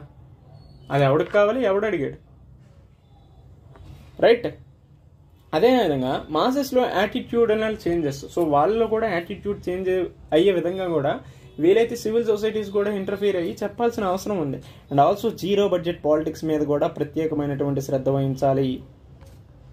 సో దీనికి ఎదురవుతున్నటువంటి ఛాలెంజెస్ ఏంటి? ఈసీకి ప్రాపర్గా పవర్స్ లేవు. ఎలక్షన్ మేనిఫెస్టోని కరప్ట్ ప్రాక్టీసెస్గా మనం కన్స్ట్రక్ట్గా ఇచ్చేయలేం. అండ్ ఆల్సో దీనికి అనుగుణంగా section one twenty three of RPA representation of peoples act two thousand nineteen fifty one ఏదైతే ఉందో దాన్ని ఖచ్చితంగా సంస్కరించాల్సిన అవసరం ఉంది. అయితే దీన్ని బేస్ చేసుకొని మనం అల్టిమేట్గా కంక్లూజన్ ఇస్తే చాలా బాగుంటుంది. Right freebies model of governance is neither sustainable nor a guaranteed election win like formula so freebies ఇస్తాం అన్నది మాత్రం ఇక్కడ ఏదో గెలిచేస్తాం ఇక్కడ ఏదో ఓడిపోతాం అని ఏం లేదు. This issue lies with both parties and voters ఈ ఇష్యూ అనేది కేవలం రాజకీయ పార్టీలకు మాత్రమే పరిమితి కాదు. అది ఓటర్లకు కూడా సంబంధించినటువంటి అంశం. సో ఇక్కడ ఇద్దరు ఖచ్చితంగా ఇద్దరి యొక్క భాగస్వామ్యం ఉంటేనే ఫ్రీబీస్ అనేది ఇది అవుతాయి సో నాకు డబ్బులు ఇచ్చినప్పుడు లేకపోతే నాకు ఫ్రీ ఎలక్ట్రిసిటీ ఇస్తాను అన్నప్పుడు ఓటర్లు వద్దు అన్నప్పుడు ఎందుకు ఇస్తారు రాజకీయ పార్టీలు? అది ఆలోచించాల్సిన అవసరం కదా. Parties need to provide informed policies and promises and voters should ask informed questions to the political parties so ఈ విధంగా అందరిలో అవేర్నెస్ వచ్చిందంటే ప్రజాస్వామ్యం మంచిగానే ఉంటుంది. అసలు మనం ఇంత కష్టపడి చదువుకోవాల్సిన అవసరం కూడా ఉండదు కదా. సో ఇటువంటి సమస్యలు ఉన్నాయి కాబట్టి మనలాంటి ఎఫిషియన్సీ ఉన్నటువంటి ఆఫీసర్స్ ఈ పరిపాలనకు అవసరము. ఈ ప్రజాస్వామ్యానికి అవసరం. అయ్యో అందరికీ అర్థమైంది అనుకుంటున్నా. టాపిక్ చూసుకుంటే అవినీతికి సంబంధించి కరప్షన్ మన భారతదేశంలో కరప్షన్ ఎంత ఉందో అనేది మనం చెప్పాల్సిన పని లేదు. సో మనం రాసే ఉ- ఉద్యోగాల్లో కూడా మన రాసే పరీక్షల్లో కూడా కరప్షన్ జరుగుతుంది అనడంలో ఎటువంటి సందేహం కూడా లేదు. రైట్ ఈరోజు అటువంటి టాపిక్ గురించి మనం డిస్కస్ చేసుకుంటున్నాం. రైట్ సో మేజర్గా దీని గురించి డిస్కస్ చేసేటప్పుడు ఇఫ్ ఇన్ కేస్ మీకు ఏమైనా కోడ్స్ తెలిస్తే కోడ్ చేయండి. At the same time index ఏదైనా for example corruption perception index అవినీతి ఆధారిత సూచి అనేది ఉంది కదా. సో అవినీతి సూచిలో భారతదేశం ఒకప్పుడు ఎనభై ఐదో ప్లేస్లో ఉంటే మరిన్ని స్థానాలకు దిగజారి తొంభై మూడవ స్థానానికి వెళ్ళిపోయింది. సో ఈ విధంగా చూసుకుంటే భారతదేశంలో అవినీతి ఏ విధంగా ఉంది అనే అంశం మనకు అర్థమవుతుంది. రైట్ అదేవిధంగా దీన్ని ఎవరు రిలీజ్ చేస్తున్నారంటే ట్రాన్స్పరెన్సీ ఇంటర్నేషనల్ వాళ్ళు రిలీజ్ చేసేటటువంటి కరప్షన్ పర్సెప్షన్ ఇండెక్స్లో భారతదేశం ఇండియా అనేది మరిన్ని స్థానాలకు దిగజారి తొంభై మూడవ స్థానంలో నిలబడటం జరిగింది. ఈ విధంగా చూస్తే భారతదేశంలో అవినీతి ఏ విధంగా ఉంది అనే అంశం మనకు అర్థమవుతుంది. సో ఈ విధంగా అయినా మీరు రాస్తూ చెప్పొచ్చు. లేకపోతే కొటేషన్ ఆధారంగా చెప్పాలంటే మనకి చాణక్యుడు చెప్పినటువంటి ఒక కొటేషన్ మనం చెప్తూ రాయొచ్చు. ఏం చెప్పారు సారు చాణక్యుడు? నీటిలో చేప ఎప్పుడు నీరు తాగుతుందో తెలియదో అలానే ప్రభుత్వంలో ఉన్నటువంటి అధికారులు కూడా ఎప్పుడు లంచం తీసుకుంటారో తెలియదు సో ఈ విధంగా చాణక్యుడు అవినీతి గురించి ప్రభుత్వంలో ఉన్నటువంటి అధికారుల గురించి చెప్పడం జరిగింది. సో ఈ విధంగా చూసుకుంటే భారతదేశంలో అవినీతి ప్రాచీన కాలం నుంచి ప్రస్తుత కాలం వరకు కూడా ఉందనేసి మనకు అర్థమవుతుంది. రైట్ ఈ విధంగా చాణక్యుడు చెప్పినటువంటి కొటేషన్ అదే. లేకపోతే ట్రాన్స్పరెన్సీ ఇంటర్నేషనల్ రిలీజ్ చేసిన ఇండెక్స్ ఆధారంగానే చెప్పచ్చు. అయితే మేజర్గా కరప్షన్ అనేది భారతదేశంలో ఏ విధంగా జరుగుతుంది? సో ముఖ్యంగా ఠాగూర్ సినిమా చూసిన ఎవరైనా కరప్షన్ అనేది ఏ విధంగా జరుగుతుందో చెప్పొచ్చు. ఈవెన్ నాకుండా మీరు ఇంకా బాగా ఎక్స్ప్లెయిన్ చేయొచ్చు. రైట్ ఇక్కడ చూసుకోండి. పొలిటీషియన్స్ ఏ విధంగా కరప్షన్ చేస్తారు? సో మేజర్గా ప్రజలకి డబ్బులు ఇచ్చి ఓట్లు వేయించుకుంటారు. సో ఈ విధంగా కరప్షన్ అవుతుంది. ప్రజలు ఏం చేస్తారు? తొందరగా పనులు అవ్వాలనేసి బ్యూరోక్రసీకి డబ్బులు ఇచ్చి చేయించుకుంటారు. బ్యూరోక్రసీ ఏ విధంగా ఉంటుంది? ప్రమోషన్స్ ట్రాన్స్ఫర్స్ చేయాలనేసి పొలిటీషియన్స్ దగ్గర కరప్టెడ్గా తయారవుతారు. ఎంటర్ప్రెన్యూర్స్ ఎలా ఉంటారు? సో మా యొక్క క్యాంపెయిన్స్ ఫైనాన్సెస్ ఇవన్నీ మంచిగా జరగాలి. సో మా వ్యాపారం మంచిగా జరగాలి అనేసి వాళ్ళు కరప్టెడ్గా ఉంటారు. రైట్ అదేవిధంగా ఎంటర్ప్రెన్యూర్స్ బ్యూరోక్రసీ దగ్గర ఎలా కరప్టెడ్ అయిపోతారు? So bureaucracy corrupted already corrupted so వాళ్ళకి లంచం ఇస్తే కానీ పనులు చేయరు. ఈ విధంగా మా కాంట్రాక్టర్స్ కాంట్రాక్ట్ కావాలి అంటే వీళ్ళు డబ్బులు ఇచ్చుకుంటారు. సో ఈ విధంగా వ్యవస్థ అంతా కూడా అవినీతిమయం. సో సర్వం జగన్నాథమయంలాగా సర్వం అవినీతిమయం అనేది భారతదేశంలో మనకు కనిపిస్తుంది. సో ఇది స్వాతంత్రం నుంచి మొదలైంది కాదు బ్రిటిషర్స్ తీసుకొచ్చినటువంటి వ్యవస్థ కూడా కాదు. ఇది ప్రాచీన కాలం నుంచి కూడా నడుస్తున్నటువంటి వ్యవస్థ. రైట్ ఈ విధంగా ఏ విధంగా ఎవాల్యుయేషన్ అయింది అనేది కూడా మీరు చెప్పొచ్చు. దాన్ని చాణక్యుడిని కోట్ చేస్తూ అయినా చెప్పొచ్చు. ఈ విధంగా ఇఫ్ ఇన్ కేస్ ఏదైనా ట్రీ డయాగ్రామ్ వేసుకుంటేనే చెప్పొచ్చు. అయితే ముఖ్యంగా అవినీతి పెరిగిపోవడానికి గల కారణాలు ఏంటి సో కరప్షన్ అనేది పెరగడానికి గల రీజన్స్ ఏంటి అనే అంశాన్ని మనం పరిశీలిస్తే దీన్ని కూడా సేమ్ స్టేపుల్ అప్రోచ్తోనే యూజ్ చేయొచ్చు. సో రాజకీయ పరమైనటువంటి అంశాలు సామాజిక పరమైనటువంటి అంశాలు ఆర్థిక పరమైనటువంటి అంశాలు పరిపాలనా పరమైనటువంటి అంశాల ఆధారంగా చెప్పొచ్చు. రైట్ సో పొలిటికల్ అంశాలు చూసుకుంటే ముఖ్యంగా రాజకీయాల్లో నల్లధనం బ్లాక్ మనీ అనేది మనకి ఎన్నికల్లో చాలా ఎక్కువగా కనిపిస్తుంది. దీన్ని బట్టి చూస్తే అవినీతి అనేది భారతదేశంలో ఏ విధంగా ఉందో చెప్పచ్చు. నార్మల్గానే దేశంలో జరిగే ఎన్నికలకు యాభై వేల కోట్ల వరకు జరుగుతుంది అనేది అనఫిషియల్ ఉన్నటువంటి సమాచారం. యాభై వేల కోట్లు అనేది జస్ట్ అనఫిషియల్ అదే కనుక నిజమయ్యి మొత్తం మనకు ఒక డేటా వచ్చిందంటే అది ఇంకా వన్ పాయింట్ ఫైవ్ రేట్లు ఎక్కువగానే ఉండొచ్చు. So around sixty to seventy crores అయినా ఉండొచ్చు. Sixty to seventy thousand crores అయినా ఉండొచ్చు. సో ఈ విధంగా ఎన్నికల్లో ఎంత డబ్బు ఖర్చు పెట్టాలంటే ఎంత నల్లధనం ఎంత బ్లాక్ మనీ ఎంత మనీ లాండరింగ్ ఎంత హవాలా ట్రాన్సాక్షన్స్ నడవాలి. రైట్ అదేవిధంగా క్రిమినలైజేషన్ ఆఫ్ పాలిటిక్స్ బా రాజకీయాల్లో నేర చరిత్ర ఉన్నటువంటి నాయకులు రావటం క్రోనీ క్యాపిటలిజం అనేది భారతదేశంలో ఇటీవల కాలంలో పెరగటం వల్ల అవినీతి అనేది చాలా ఎక్కువగా అవుతుంది. ఇకపోతే సామాజిక పరమైనటువంటి అంశాలు చూసుకుంటే వ్యక్తి కలెక్టివిజం సమిష్టివాదం నుంచి ఇండివిజువలిజం వ్యక్తివాదానికి వెళ్ళడం జరిగింది. అదేవిధంగా మెటీరియలిస్టిక్ టెండెన్సీని అనుసరించడం ఇండివిజువలిస్టిక్ అప్రోచ్ కన్జ్యూమరిజాన్ని అనుసరించడం వల్ల కూడా కరప్షన్ అనేది పెరిగింది. Social discrimination and also education system knowledge without character ఇది లేకపోవటం వల్లే అవినీతి పెరుగుతూ వస్తుంది. అండ్ ఆల్సో వాళ్ళకి నైతిక విలువల పతనం కూడా దేశంలో ఉండటం వల్ల అవినీతి అనేది పెరుగుతుంది. రైట్ లాస్ట్గా అవేర్నెస్ సో ఈవెన్ ప్రజల్లో కూడా ఒక ఇది ఉండిపోయింది. అవినీతి అనేది తప్పుడు చర్య కాదు అనే భావన కూడా ప్రజల్లోకి అలాగా వచ్చేసింది. At the same time economic ఆర్థిక పరంగా చూసుకుంటే అవ్యవస్థీకృత రంగం అనార్గనైజ్డ్ సెక్టర్ ఉండడం.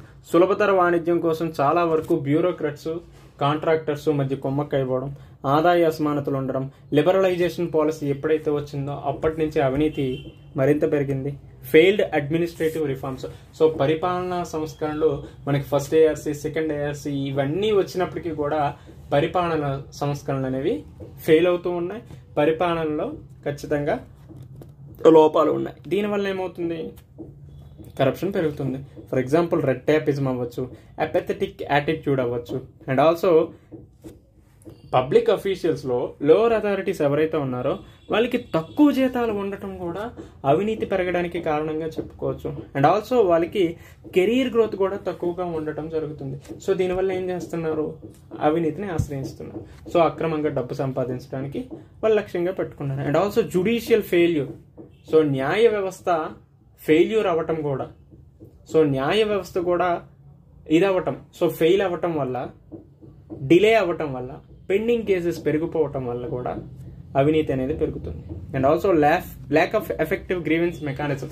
ఫిర్యాదుల పరిష్కార యంత్రాంగం సరిగ్గా లేకపోవడం కూడా అవినీతి పెరిగిపోవడానికి గల కారణాలుగా చెప్పుకోవచ్చు. సో ఈ విధంగా ఆర్థిక రాజకీయ సామాజిక కారణాలు చూసిన తర్వాత పరిపాలనాపరమైనటువంటి అంశాలను ఒకసారి చూద్దాం. సో పాలిటిక్స్లో క్రిమినలైజ్ పెరగడం. బ్యూరోక్రాట్స్ వీళ్ళకి అమ్ముడుపోయారు. So sorry to say that ఖచ్చితంగా కొంతమంది అడ్మినిస్ట్రేషన్లో మంచి వాళ్ళు ఉన్నారు. సహాయం లాంటి వాళ్ళు. సహాయం ఐఏఎస్ గారు. రైట్ పీపుల్స్ ఐఏఎస్గా పిలువబడిన శంకరన్ గారు. రైట్ ఇటువంటి ఐఏఎస్ ఆఫీసర్లు టిఎన్ శేషన్ ఇటువంటి ఆఫీసర్స్ అనే వాళ్ళు ఉన్నారు. బ్యూరోక్రాట్స్ మంచి వాళ్ళు ఉన్నారు. లేరని కాదు. But most of the bureaucrats politics ఇద్దరు కొమ్మక్కయ్యి ఈ వ్యవస్థను నడిపిస్తున్నారు.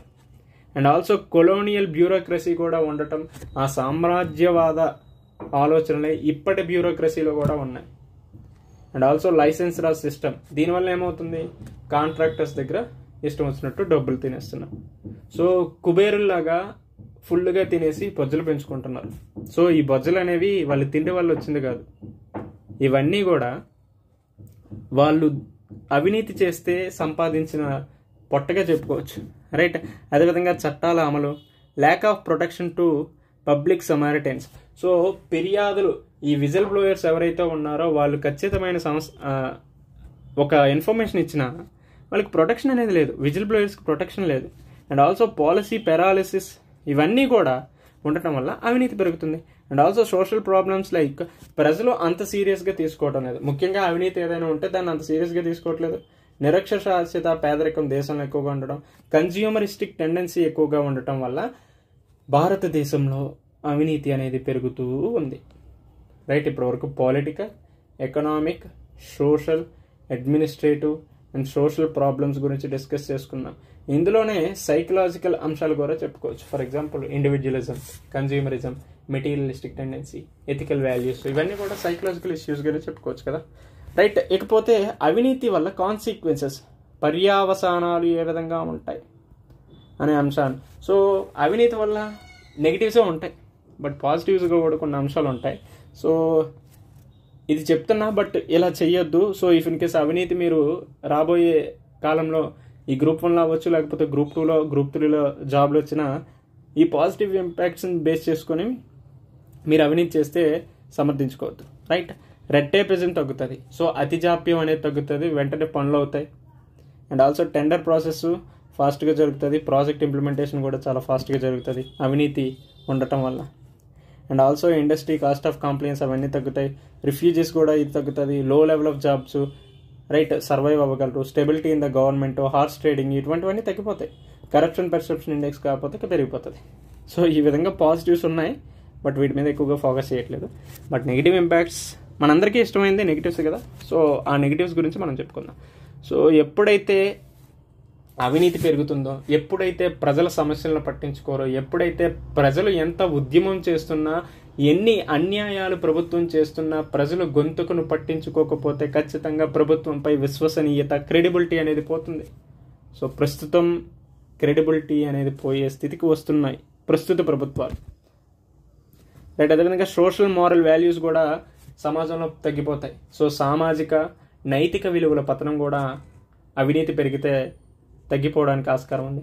And also fundamental rights and human rights violations కూడా జరుగుతాయి.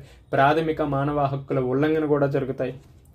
ఈజ్ ఆఫ్ డూయింగ్ బిజినెస్లో భారతదేశం వెనకబడిపోతుంది. సులభతర వాణిజ్య సూచీలో భారతదేశం వెనకబడుతుంది. దీనివల్ల ఏమవుతాయి? ఇన్వెస్ట్మెంట్స్ తగ్గుతాయి ప్రొడక్షన్ తగ్గుతుంది గ్రోత్ తగ్గిపోతాయి అండ్ ఆల్సో ఇన్కమ్ ఇన్ఈక్వాలిటీస్ ఆదాయ అసమానతలు పెరిగిపోతాయి. పన్ను ఎగవేతలు ట్యాక్స్ అవాయిడెన్స్ పెరిగిందంటే ట్యాక్స్ రెవెన్యూ తగ్గుతుంది. ప్రభుత్వానికి రావాల్సిన రెవెన్యూ రాదు. ప్రభుత్వం సోషల్ ఎక్స్పెండిచర్ ఖర్చు పెట్టలేదు.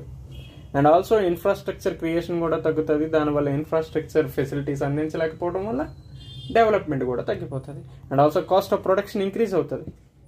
దీనివల్ల ఇన్ఫ్లేషన్ కూడా పెరిగిపోతుంది పావర్టీ అనేది పెరుగుతుంది. వీసీఎస్ సైకిల్లో ఉండిపోతారు. పేదరిక విషవలయాల్లోనే ఉంటుతారు వర్చువస్ సైకిల్గా భారతదేశం వెళ్ళడానికి స్కోపే ఉండదు. And also out of pocket expenditure పెరగడం వల్ల కూడా పేదరికం పెరుగుతుంది. It is harmful to the national security so జాతీయ భద్రతకు కూడా ఇది విఘాతం కలిగిస్తుంది. ఇన్ఫిల్ట్రేటర్స్ వస్తారు మనీ ల్యాండర్స్ వస్తారు హవాలా ట్రేడింగ్ అవుతుంది హవాలా ట్రాన్సాక్షన్స్ అవుతాయి దీనివల్ల ఏమవుతుంది? జాతీయ భద్రత అనేది దెబ్బతింటుంది. ఈవెన్ డిఫెన్స్ రిలేటెడ్గా ఏవైనా ఉత్పత్తులు చేసినా అందులో స్కామ్స్ జరుగుతాయి. Right buffer scam Rafale scam ఈ విధంగా.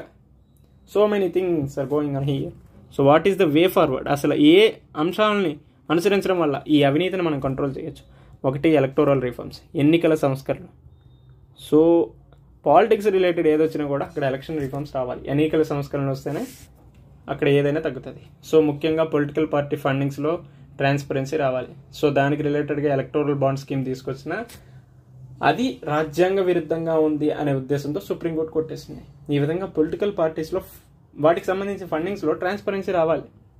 ఈవెన్ కేస్ దానికి సంబంధించి మానిటరింగ్ ఏజెన్సీ కూడా ఉండాలి. ఎలక్షన్ కమిషన్ ఆఫ్ ఇండియా అయితే దానికి ఖచ్చితంగా పవర్స్ ఇవ్వాలి. పొలిటికల్ పార్టీస్ అన్నీ కూడా ఆర్టీఐ పరిధిలోకి రావాల్సిన అవసరం ఉంది. ఎప్పుడైతే ఆర్టీఐ పరిధిలోకి వస్తాయో అప్పుడే వాటిలో ట్రాన్స్పరెన్సీ అకౌంటబిలిటీ పెరుగుతుంది. And also model code of conduct ఎప్పుడైతే వస్తుందో వాటిని లెగాలిటీ చేస్తామో అప్పుడు ఫ్రీ అండ్ ఫెయిర్ ఎలక్షన్స్ ఏర్పడతాయి. క్రిమినలైజేషన్ ఆఫ్ పాలిటిక్స్ తగ్గుతుంది. ధనబలం అంగబలం ఉన్న వాళ్ళే కాకుండా దేశానికి మంచి చేయాలనుకునే వాళ్ళు కూడా పరిపాలనలోకి ప్రభుత్వంలోకి న్యాయ వ్యవస్థల్లోకి రాజకీయాల్లోకి వస్తే ఖచ్చితంగా ప్రజాస్వామ్యం ముందుంటుంది. దీనివల్ల ఎటువంటి సమస్యలు కూడా ఉండవు.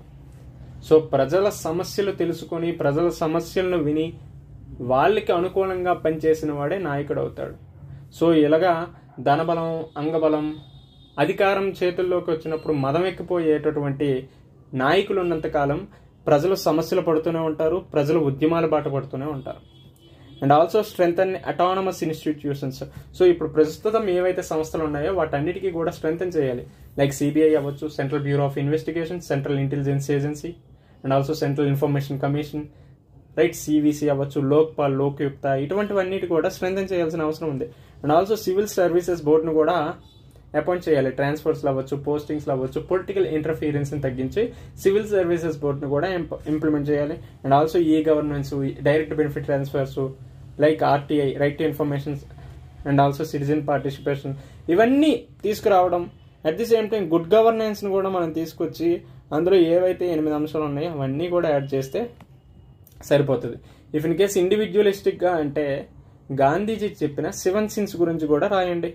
సో సెవెన్ సిన్స్ అంటే for example politics without principles ఉండకూడదు. కామర్స్ వితౌట్ మొరాలిటీ ఉండకూడదు. నాలెడ్జ్ వితౌట్ క్యారెక్టర్ అది ఉండకూడదు. సో ఈ విధంగా గాంధీజీ గారు చెప్పినటువంటి సెవెన్ సిన్స్ ఏవైతే ఉన్నాయో వాటన్నిటిని కూడా గుర్తుపెట్టుకోండి. ఎస్ఏలో రాయడానికి చాలా చాలా యూజ్ ఉంటుంది. సో ఎస్ఏలో గాంధీజీ గురించి లేకపోతే అంబేద్కర్ గారి గురించి సో ఈ విధంగా పొలిటికల్ ఫ్రీడమ్ ఫైటర్స్ ఎవరైతే ఉన్నారో వారి గురించి రాస్తే మీ ప్రశ్న బాగుంటుంది మీకు మార్కులు కూడా ఎక్కువ వస్తాయి. రైట్ ఇప్పుడు the most expected and important and also చాలా న్యూస్లో ఉన్న టాపిక్స్ గురించి డిస్కస్ చేస్తాం. సో మేజర్గా జుడిషియరీకి సంబంధించినటువంటి ఇంపార్టెంట్ టాపిక్స్ సో న్యాయ దేవతలకైతే కళ్ళు వచ్చాయి కానీ మన గ్రూప్ వన్ మెయిన్స్లో అయితే న్యాయానికి చోటు లేకుండా పోయింది. బట్ ఈరోజు అన్ఫార్చునేట్లీ మనం జుడిషియరీ గురించి చదువుకుందాం. సో జుడిషియరీలో మెయిన్గా కొలీజియం సిస్టమ్ గురించి రైట్ అదేవిధంగా పెండింగ్ కేసెస్ అనేవి చాలా ఎక్కువగా ఉన్నాయి కదా. సో ఈ పెండింగ్ కేసెస్ ఈ అంశాల గురించి మనం ప్రత్యేకంగా డిస్కస్ చేసుకుందాం. సో కొలీజియం సిస్టమ్ అనేది ఏ విధంగా ఎవాల్యుయేషన్ అవుతూ వచ్చింది అనే అంశాన్ని పరిశీలిద్దాం. సో నూట ఇరవై నాలుగవ అధికారణ ప్రకారం సుప్రీంకోర్టు న్యాయమూర్తులను నియమించే సమయంలో సుప్రీంకోర్టు సీజీఐని సంప్రదించాల్సిన అవసరం ఉంది. సో రాష్ట్రపతి ఎవరైతే ఉన్నారో సుప్రీంకోర్టు సీజీఐని సంప్రదించాలి. సో ఎవరిని? సుప్రీంకోర్టు జడ్జెస్ ఎవరైతే ఉన్నారో వాళ్ళని అపాయింట్ చేసేటప్పుడు ఖచ్చితంగా ప్రెసిడెంట్ సీజేని సంప్రదించాల్సిన అవసరం ఉంది. అది ఆర్టికల్ వన్ ట్వంటీ ఫోర్. అదేవిధంగా ఆర్టికల్ టూ వన్ సెవెన్ ప్రకారం హైకోర్టు జడ్జెస్ని నియమించే సమయంలో రాష్ట్రపతి సీజేఐని ఆ రాష్ట్ర గవర్నరు ఆ రాష్ట్ర హైకోర్టు చీఫ్ జస్టిస్ సలహాలను తీసుకుంటారు. సో ఈ విధంగా హైకోర్టుకి సంబంధించినటువంటి కొలీజియం ఇక్కడ ఉంటుంది అదేవిధంగా రెండు వందల ఇరవై రెండు ఆర్టికల్ ప్రకారం బదిలీల విషయంలో కూడా రాష్ట్రపతి సీజేఐను సంప్రదిస్తారు. ఈ విధంగా రాజ్యాంగంలో కాన్స్టిట్యూషనల్లో కొలీజియానికి సంబంధించినటువంటి ప్రావిజన్స్ ఇండైరెక్ట్గా ఇవ్వడం జరిగింది. అంటే ఈ అంశాలన్నింటినీ పరిశీలిస్తే ఏమవుతుంది? ఈ హయ్యర్ జ్యుడిషియరీలో నియామకాలు బదిలీలు ప్రక్రియలో న్యాయ వ్యవస్థతో పాటు కార్యనిర్వాహక శాఖకు కూడా తగిన ప్రాధాన్యం ఉంది అని అర్థమవుతుంది. సో ఇక్కడ జుడిషియరీలో జుడిషియల్ అపాయింట్మెంట్లో జుడిషియరీతో పాటు ఈవెన్ ఎగ్జిక్యూటివ్కి కూడా ప్రాధాన్యం అనేది ఉందనేది తెలుస్తుంది. అయితే కాలక్రమేణా న్యాయ వ్యవస్థలో రాజకీయ జోక్యం పెరుగుతూ వచ్చింది. సో పొలిటికల్ ఇంటర్ఫీరెన్స్ అనేది పెరుగుతూ వచ్చింది. సో నైన్టీన్ సెవెంటీ సిక్స్లో ఈ జోక్యం విపరీత పోకడలకు కూడా దారితీసింది. దానిని నివారించడానికే మనకి ఈ కొలీజియం వ్యవస్థ అనేది ఎవాల్యుయేషన్ అవుతూ వచ్చింది. అందులో భాగంగానే త్రీ జడ్జెస్ కేసు ఏవైతే ఉన్నాయో వాటి గురించి మనం చదువుకోవాల్సిన అవసరం ఉంది. సో ఫస్ట్ జడ్జెస్ కేసు అయినటువంటి SP Gupta case nineteen eighty వన్లో సుప్రీంకోర్టు ఏ అంశం గురించి చెప్పిందంటే జడ్జెస్ అపాయింట్మెంట్కి సంబంధించి రాష్ట్రపతి మిగిలిన వారిని సంప్రదించడం అంటే కన్సల్టేషన్ అంటే ఏమని చెప్పారంటే అది జస్ట్ కార్యనిర్వాహక శాఖకు పూర్తి అధికారం ఉంటుందని చెప్పారు. సో కన్సల్టేషన్ పరంగా మాత్రమే చూడాలి కానీ ఇది జస్ట్ అడ్వైజరీ ఇన్ నేచర్ గానే చూస్తారు రాష్ట్రపతి. సో ఈ విధంగా ఎస్పీ గుప్తా కేసులో ఎగ్జిక్యూటివ్కి కొంచెం ప్రాముఖ్యత ఇవ్వడం జరిగింది. సో ఎగ్జిక్యూటివ్ యొక్క రోల్ అనేది ఇక్కడ ఎక్కువగా ఉంది జుడిషియరీతో కంపారిజన్ చేసుకుంటే. సో ఇక్కడ సిజిఐ సూచనలు అన్నీ కూడా సలహాలను కూడా తిరస్కరించవచ్చని పేర్కొంది. సో దీన్ని బట్టి చూస్తే ఎగ్జిక్యూటివ్కి ఎక్కువగా ప్రాముఖ్యత అనేది ఎస్పీ గుప్తా కేసులో ఇవ్వడం జరిగింది. ఆ తర్వాత నైన్టీన్ నైన్టీ త్రీలో సెకండ్ జడ్జెస్ కేసు అయినటువంటి ఈ దీంట్లో తీర్పు ఏమొచ్చిందంటే రాష్ట్రపతి ప్రధాన న్యాయమూర్తిని సంప్రదించడం అంటే అంటే ఇక్కడ కన్సల్టేషన్ అంటే న్యాయమూర్తి సలహాలను రాష్ట్రపతి తప్పనిసరిగా పాటించాల్సిన అవసరాన్ని పేర్కొంది. అయితే సలహా ఇచ్చే సమయంలో ప్రధాన న్యాయమూర్తే కాకుండా చీఫ్ జస్టిస్ ఆఫ్ ఇండియా అనే కాకుండా అతనితో కలిపి మరో ఇద్దరు న్యాయమూర్తుల యొక్క సలహాలను కూడా తీసుకోవాలని చెప్పింది. ఈ విధంగా కొలీజియం వ్యవస్థ అనేది ఏర్పడింది. సో ఫస్ట్ జడ్జెస్ కేసు అయితే ఎగ్జిక్యూటివ్కి అది ప్రాధాన్యత ఇచ్చింది. సెకండ్ జడ్జెస్ కేసులో మేజర్గా ఎగ్జిక్యూటివ్కి లెస్ ప్రయారిటీ ఇచ్చి జుడిషియరీకి ఇక్కడ ఎక్కువగా ప్రయారిటీ అనేది రావడం జరిగింది. సో థర్డ్ జడ్జెస్ కేసులో పూర్తిగా కొలీజియం వ్యవస్థ అనేది ఏర్పడింది. So nineteen ninety eight third judges కేసులో కొలీజియం వ్యవస్థ అనేది ఏర్పడింది. దీనికి హిస్టారికల్ బ్యాక్గ్రౌండ్ ఏంటి? కేఆర్ నారాయణన్ గారు ప్రెసిడెంట్గా ఉన్నప్పుడు సుప్రీంకోర్టు న్యాయమూర్తుల నియామకాల విషయంలో అపాయింట్మెంట్స్ విషయంలో సంప్రదింపు అంటే ఏంటి అనే దానికి అర్థ వివరణ ఇవ్వాలని కోరారు. ఇది ఆర్టికల్ వన్ ఫార్టీ త్రీ ప్రకారము అడగడం జరిగింది. అప్పుడు సుప్రీంకోర్టు ఈ త్రీ జడ్జెస్ కేసులో ఏం చెప్పిందంటే కాన్స్టిట్యూషన్లో ఉన్నటువంటి one twenty four clause two two seventeen and two twenty two clause one ఏవైతే ఆర్టికల్స్ ఉన్నాయో అందులో సంప్రదింపు కన్సల్టేషన్ అంటే బహుళ న్యాయమూర్తుల సూచనలతో కూడిన భారత ప్రధాన న్యాయమూర్తి సలహా అని అర్థం చెప్పింది. అంటే సీజీఐతో పాటు నలుగురు సుప్రీంకోర్టు జడ్జెస్ ఇచ్చే సలహాలు సూచనలు రాష్ట్రపతి ఖచ్చితంగా పాటించాలి. సో ఈ విధంగా సంప్రదింపులు అనేవి ఉండాలి. ఈ విధంగా కొలీజియం వ్యవస్థ అనేది ఏర్పడింది అనేసి మనకి అర్థమవుతుంది. సుప్రీంకోర్టు జడ్జెస్ నియామక విషయం సిజిఐ నలుగురు ఇతర సుప్రీంకోర్టు న్యాయమూర్తుల సలహాలను పరిగణలోకి తీసుకోవాలి. అదే హైకోర్టుకి సంబంధించినటువంటి జడ్జెస్ అపాయింట్మెంట్స్లో ఇద్దరు సీనియర్ సుప్రీంకోర్టు న్యాయమూర్తుల సలహాను తప్ప తప్పనిసరిగా పాటించాలి. దీనినే కొలీజియం వ్యవస్థగా పేర్కొంటారు. సో ఈ విధంగా supreme court first judges case nineteen eighty వన్లో ఎగ్జిక్యూటివ్కి అధిక ప్రాధాన్యత ఇస్తూ జుడిషియరీకి తక్కువ ప్రాధాన్యత ఇచ్చింది. నైన్టీన్ నైన్టీ త్రీలో సెకండ్ జడ్జెస్ కేసులో జుడిషియరీకి అధిక ప్రాధాన్యత ఇస్తూ ఎగ్జిక్యూటివ్కి తక్కువ ప్రాధాన్యత ఇచ్చి కొలీజియం వ్యవస్థ బీజం పడింది ఇక్కడ. నైన్టీన్ నైన్టీ ఎయిట్లో కేఆర్ నారాయణ గారి సూచన మేరకు third cases third judges case కూడా వచ్చింది. సో ఇందులో జుడిషియరీకి అధిక ప్రాధాన్యత ఇవ్వడమే కాకుండా కొలీజియం వ్యవస్థ అనేది కూడా ఏర్పడడం జరిగింది. సో ఈ కొలీజియం వ్యవస్థలో సుప్రీంకోర్టు న్యాయమూర్తుల నియామకాల విషయంలో సుప్రీంకోర్టు చీఫ్ జస్టిస్తో పాటు నలుగురు న్యాయమూర్తులు వాళ్ళ యొక్క సలహాలను రాష్ట్రపతికి సిఫారసు చేస్తారు. దీనికి అనుగుణంగానే సుప్రీంకోర్టు జడ్జెస్ అపాయింట్మెంట్ అనేది కూడా జరుగుతుంది. ఆ తర్వాత రెండు వేల పద్నాలుగులో ఈ కొలీజియం వ్యవస్థని తీసివేసి నేషనల్ జుడిషియల్ అపాయింట్మెంట్ కమిషన్ కూడా ఏర్పాటు చేయాలని చూసింది. అయితే జుడిషియల్ ఇండిపెండెన్స్కి ఇది విఘాతం కలుగుతుంది కాబట్టి ఇది రాజ్యాంగానికి విరుద్ధంగా ఉంది. So it is un unconstitutional అని చెప్పేసి సుప్రీంకోర్టు ఈ ఎంజాక్ వ్యవస్థను రద్దు చేయడం జరిగింది.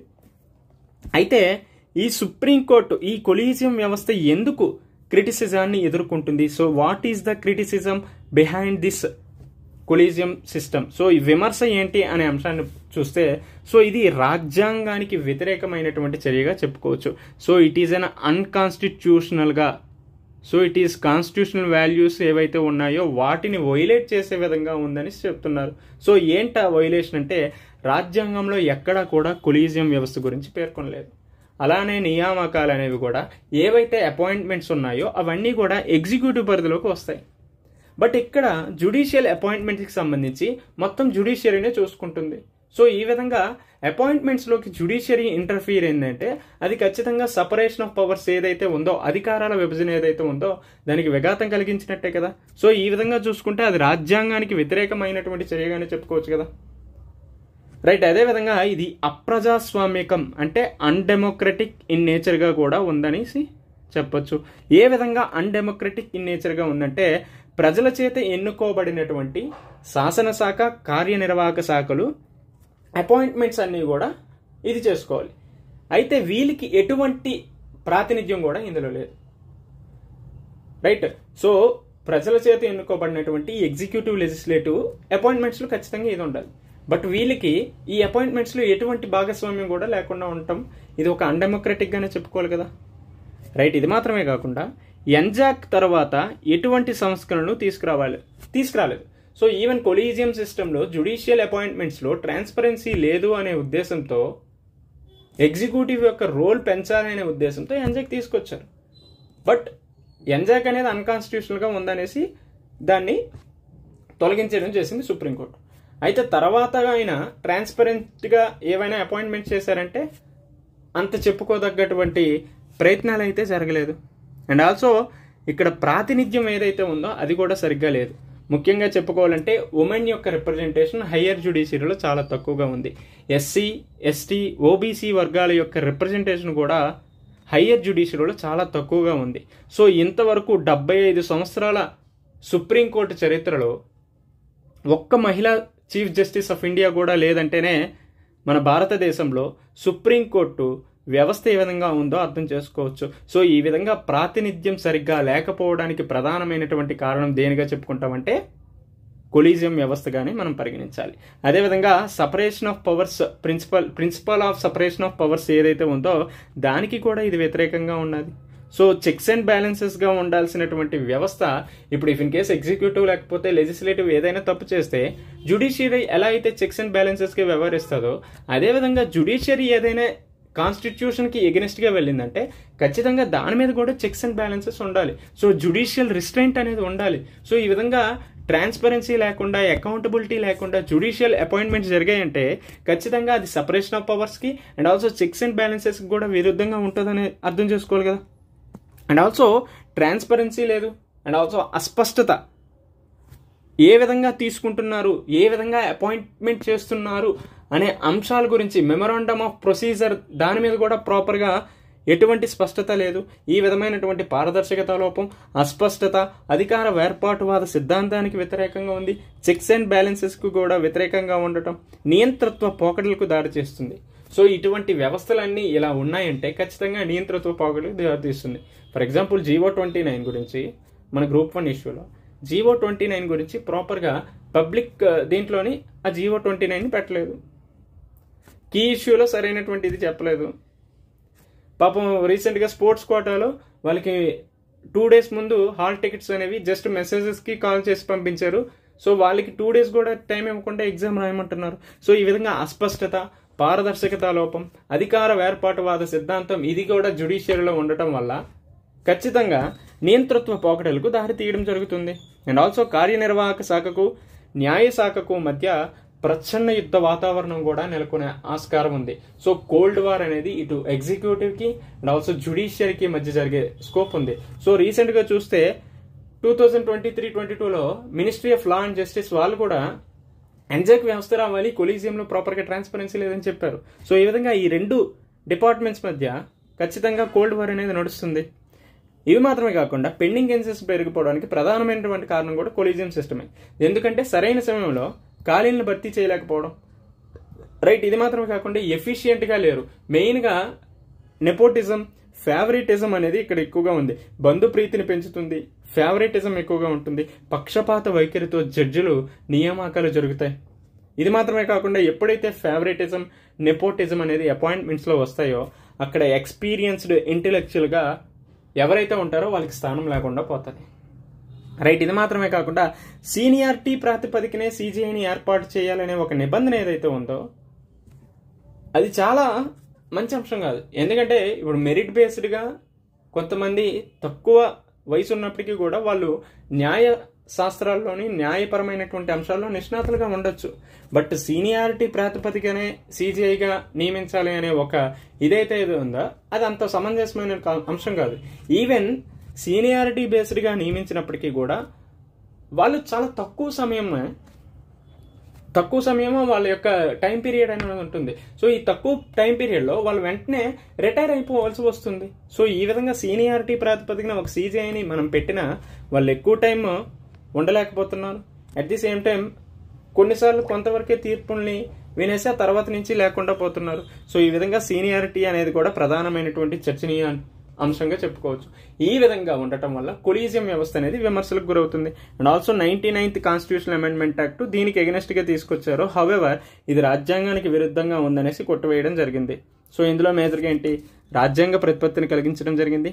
దీని సిఫారసులు అనుగుణంగా న్యాయమూర్తుల నియామకాలు జరిగాయి. సో జుడిషియల్ అపాయింట్మెంట్స్ అన్నీ కూడా దీని ఏదైతే ఎంజాక్ ఉంటుందో అది చెప్తేనే ఇది అవుతుందని చెప్పారు. అయితే ఈ నేషనల్ జ్యుడిషియల్ అపాయింట్మెంట్ కమిషన్లో ఒక చైర్మన్తో పాటు ఫైవ్ మెంబర్స్ ఉంటారు. సో ఎవరెవరు? చీఫ్ జస్టిస్ ఆఫ్ ఇండియా మిగతా సభ్యులు ఎవరంటే ఇద్దరు సుప్రీంకోర్టు జడ్జెస్ ఒక కేంద్ర న్యాయశాఖ మంత్రి రెండు ప్రముఖమైనటువంటి వ్యక్తులు. జ్యుడిషియరీలో ఎక్స్పీరియన్స్ ఉన్నటువంటి ప్రముఖమైన వ్యక్తులు ఉంటారు. సో ఈ ఇద్దరు వ్యక్తులని ప్రధానమంత్రి సీజేఈ లోక్సభ ప్రతిపక్ష నాయకుడు నియమించడం జరుగుతుంది. వీళ్ళ యొక్క కాలపరిమితి కూడా త్రీ ఇయర్స్గా ఉంటుంది. సో ఈ విధంగా ఎన్జాక్ వ్యవస్థ అనేది ఉంటుంది అనేసి అర్థం చేసుకోవచ్చు. అయితే ఎంజాక్ తీసుకొచ్చినప్పటికీ కూడా ఎంజాక్లో కూడా కొన్ని లోపాలు ఉన్నాయి అనేసి మీరు అర్థం చేసుకోండి. ఏంటంటే ఎంజాక్లో న్యాయ వ్యవస్థకు తగినంత ప్రాధాన్యం ఇవ్వలేదు. సో జుడిషియరీ ఇండిపెండెన్స్ లేకపోయిందంటే ఖచ్చితంగా అక్కడ ఫండమెంటల్ రైట్స్కి విఘాతం కలుగుతుంది. కాన్స్టిట్యూషన్కి విఘాతం కలుగుతుంది. కాన్స్టిట్యూషన్ వాల్యూస్ని ఎమాన్సిపేట్ చేయాలన్నా ఎన్హాన్స్ చేయాలన్నా ఖచ్చితంగా జుడిషియరీ ఇండిపెండెన్స్ ఉండాలి. సో ఈ విధంగా ఎంజాక్ వ్యవస్థ రావటం వల్ల జుడిషియరీకి జుడిషియల్ అపాయింట్మెంట్స్లో ప్రాధాన్యం లేకుండా పోయింది. అదేవిధంగా న్యాయ వ్యవస్థ స్వాతంత్రత ఏదైతే ఉందో అది కూడా దెబ్బతిన్నది. ఇద్దరు వ్యక్తుల యొక్క ప్రత్యేక అర్హతలను కూడా దీంట్లో ప్రత్యేకంగా పొందుపరచడం లేదు. దీనివల్ల ఏమవుతుంది?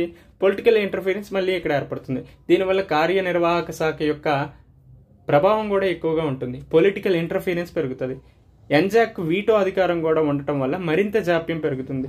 అండ్ ఆల్సో ఇది ఆర్టికల్ ఫిఫ్టీ డిపిఎస్పి ఏదైతే ఉందో దానికి కూడా వ్యతిరేకంగా ఉంది. సో ఆర్టికల్ ఫిఫ్టీ ఏంటి? Separation of judiciary from executive అనే నిబంధనకు కూడా ఈ ఎన్జాక్ వ్యతిరేకంగా ఉండటం వల్ల సుప్రీంకోర్టు దీన్ని కొట్టేయడం జరిగింది రెండు వేల పదిహేనులో. అయితే పాజిటివ్స్ ఏంటి? కార్యనిర్వాహక వర్గం పెండింగ్ కేసెస్లు తగ్గించాలన్నా పారదర్శకత పెరగాలన్నా ఇటువంటి అన్ని అంశాలను చూస్తే ఎంజాక్ అనేది అవసరం తెలుస్తుంది. అయితే ఇంకా జుడిషియల్కి సంబంధించి ఏ ఏ రిఫార్మ్స్ తీసుకొస్తే మంచిది అనేసి మనం అనుకుంటున్నాం అంటే దానికి సంబంధించి సూచనలు first all India judicial services అనేది ఏర్పాటు చేయాలి. సో ఎప్పటి నుంచో ఈవెన్ రీసెంట్గా ద్రౌపది ముర్ము గారు కూడా ఈ ఆల్ ఇండియా జుడిషియల్ సర్వీసెస్ అనేవి తీసుకురావాలి. సో జుడిషియరీలో మార్జినలైజ్డ్ సెక్షన్స్ యొక్క ప్రాధాన్యత ప్రాతినిధ్యం కూడా ఉండాలి అనేసి చెప్పడం జరిగింది. At the same time pending కేసెస్ని మనం తగ్గించాలంటే ఈ ఆల్ ఇండియా జుడిషియల్ సర్వీసెస్ వంటివి రావాలి. దీనికి సంబంధించి మనం ఆల్రెడీ సమాచార సిరీస్లో కూడా చెప్పుకున్నాం. రైట్ ఇది మాత్రమే కాకుండా ఎంజాక్లో సుప్రీంకోర్టు సూచించిన సూచనల ద్వారా కొంత వరకు సంస్కరణలు తీసుకొస్తుంటే ఉన్న ప్రాబ్లం సాల్వ్ అవ్వచ్చు. అంటే ఎగ్జిక్యూటివ్కి జ్యుడిషియరీకి మధ్య చాలా కాన్ఫ్లిక్ట్స్ ఉన్నాయి because of NJAC and collegium వల్ల.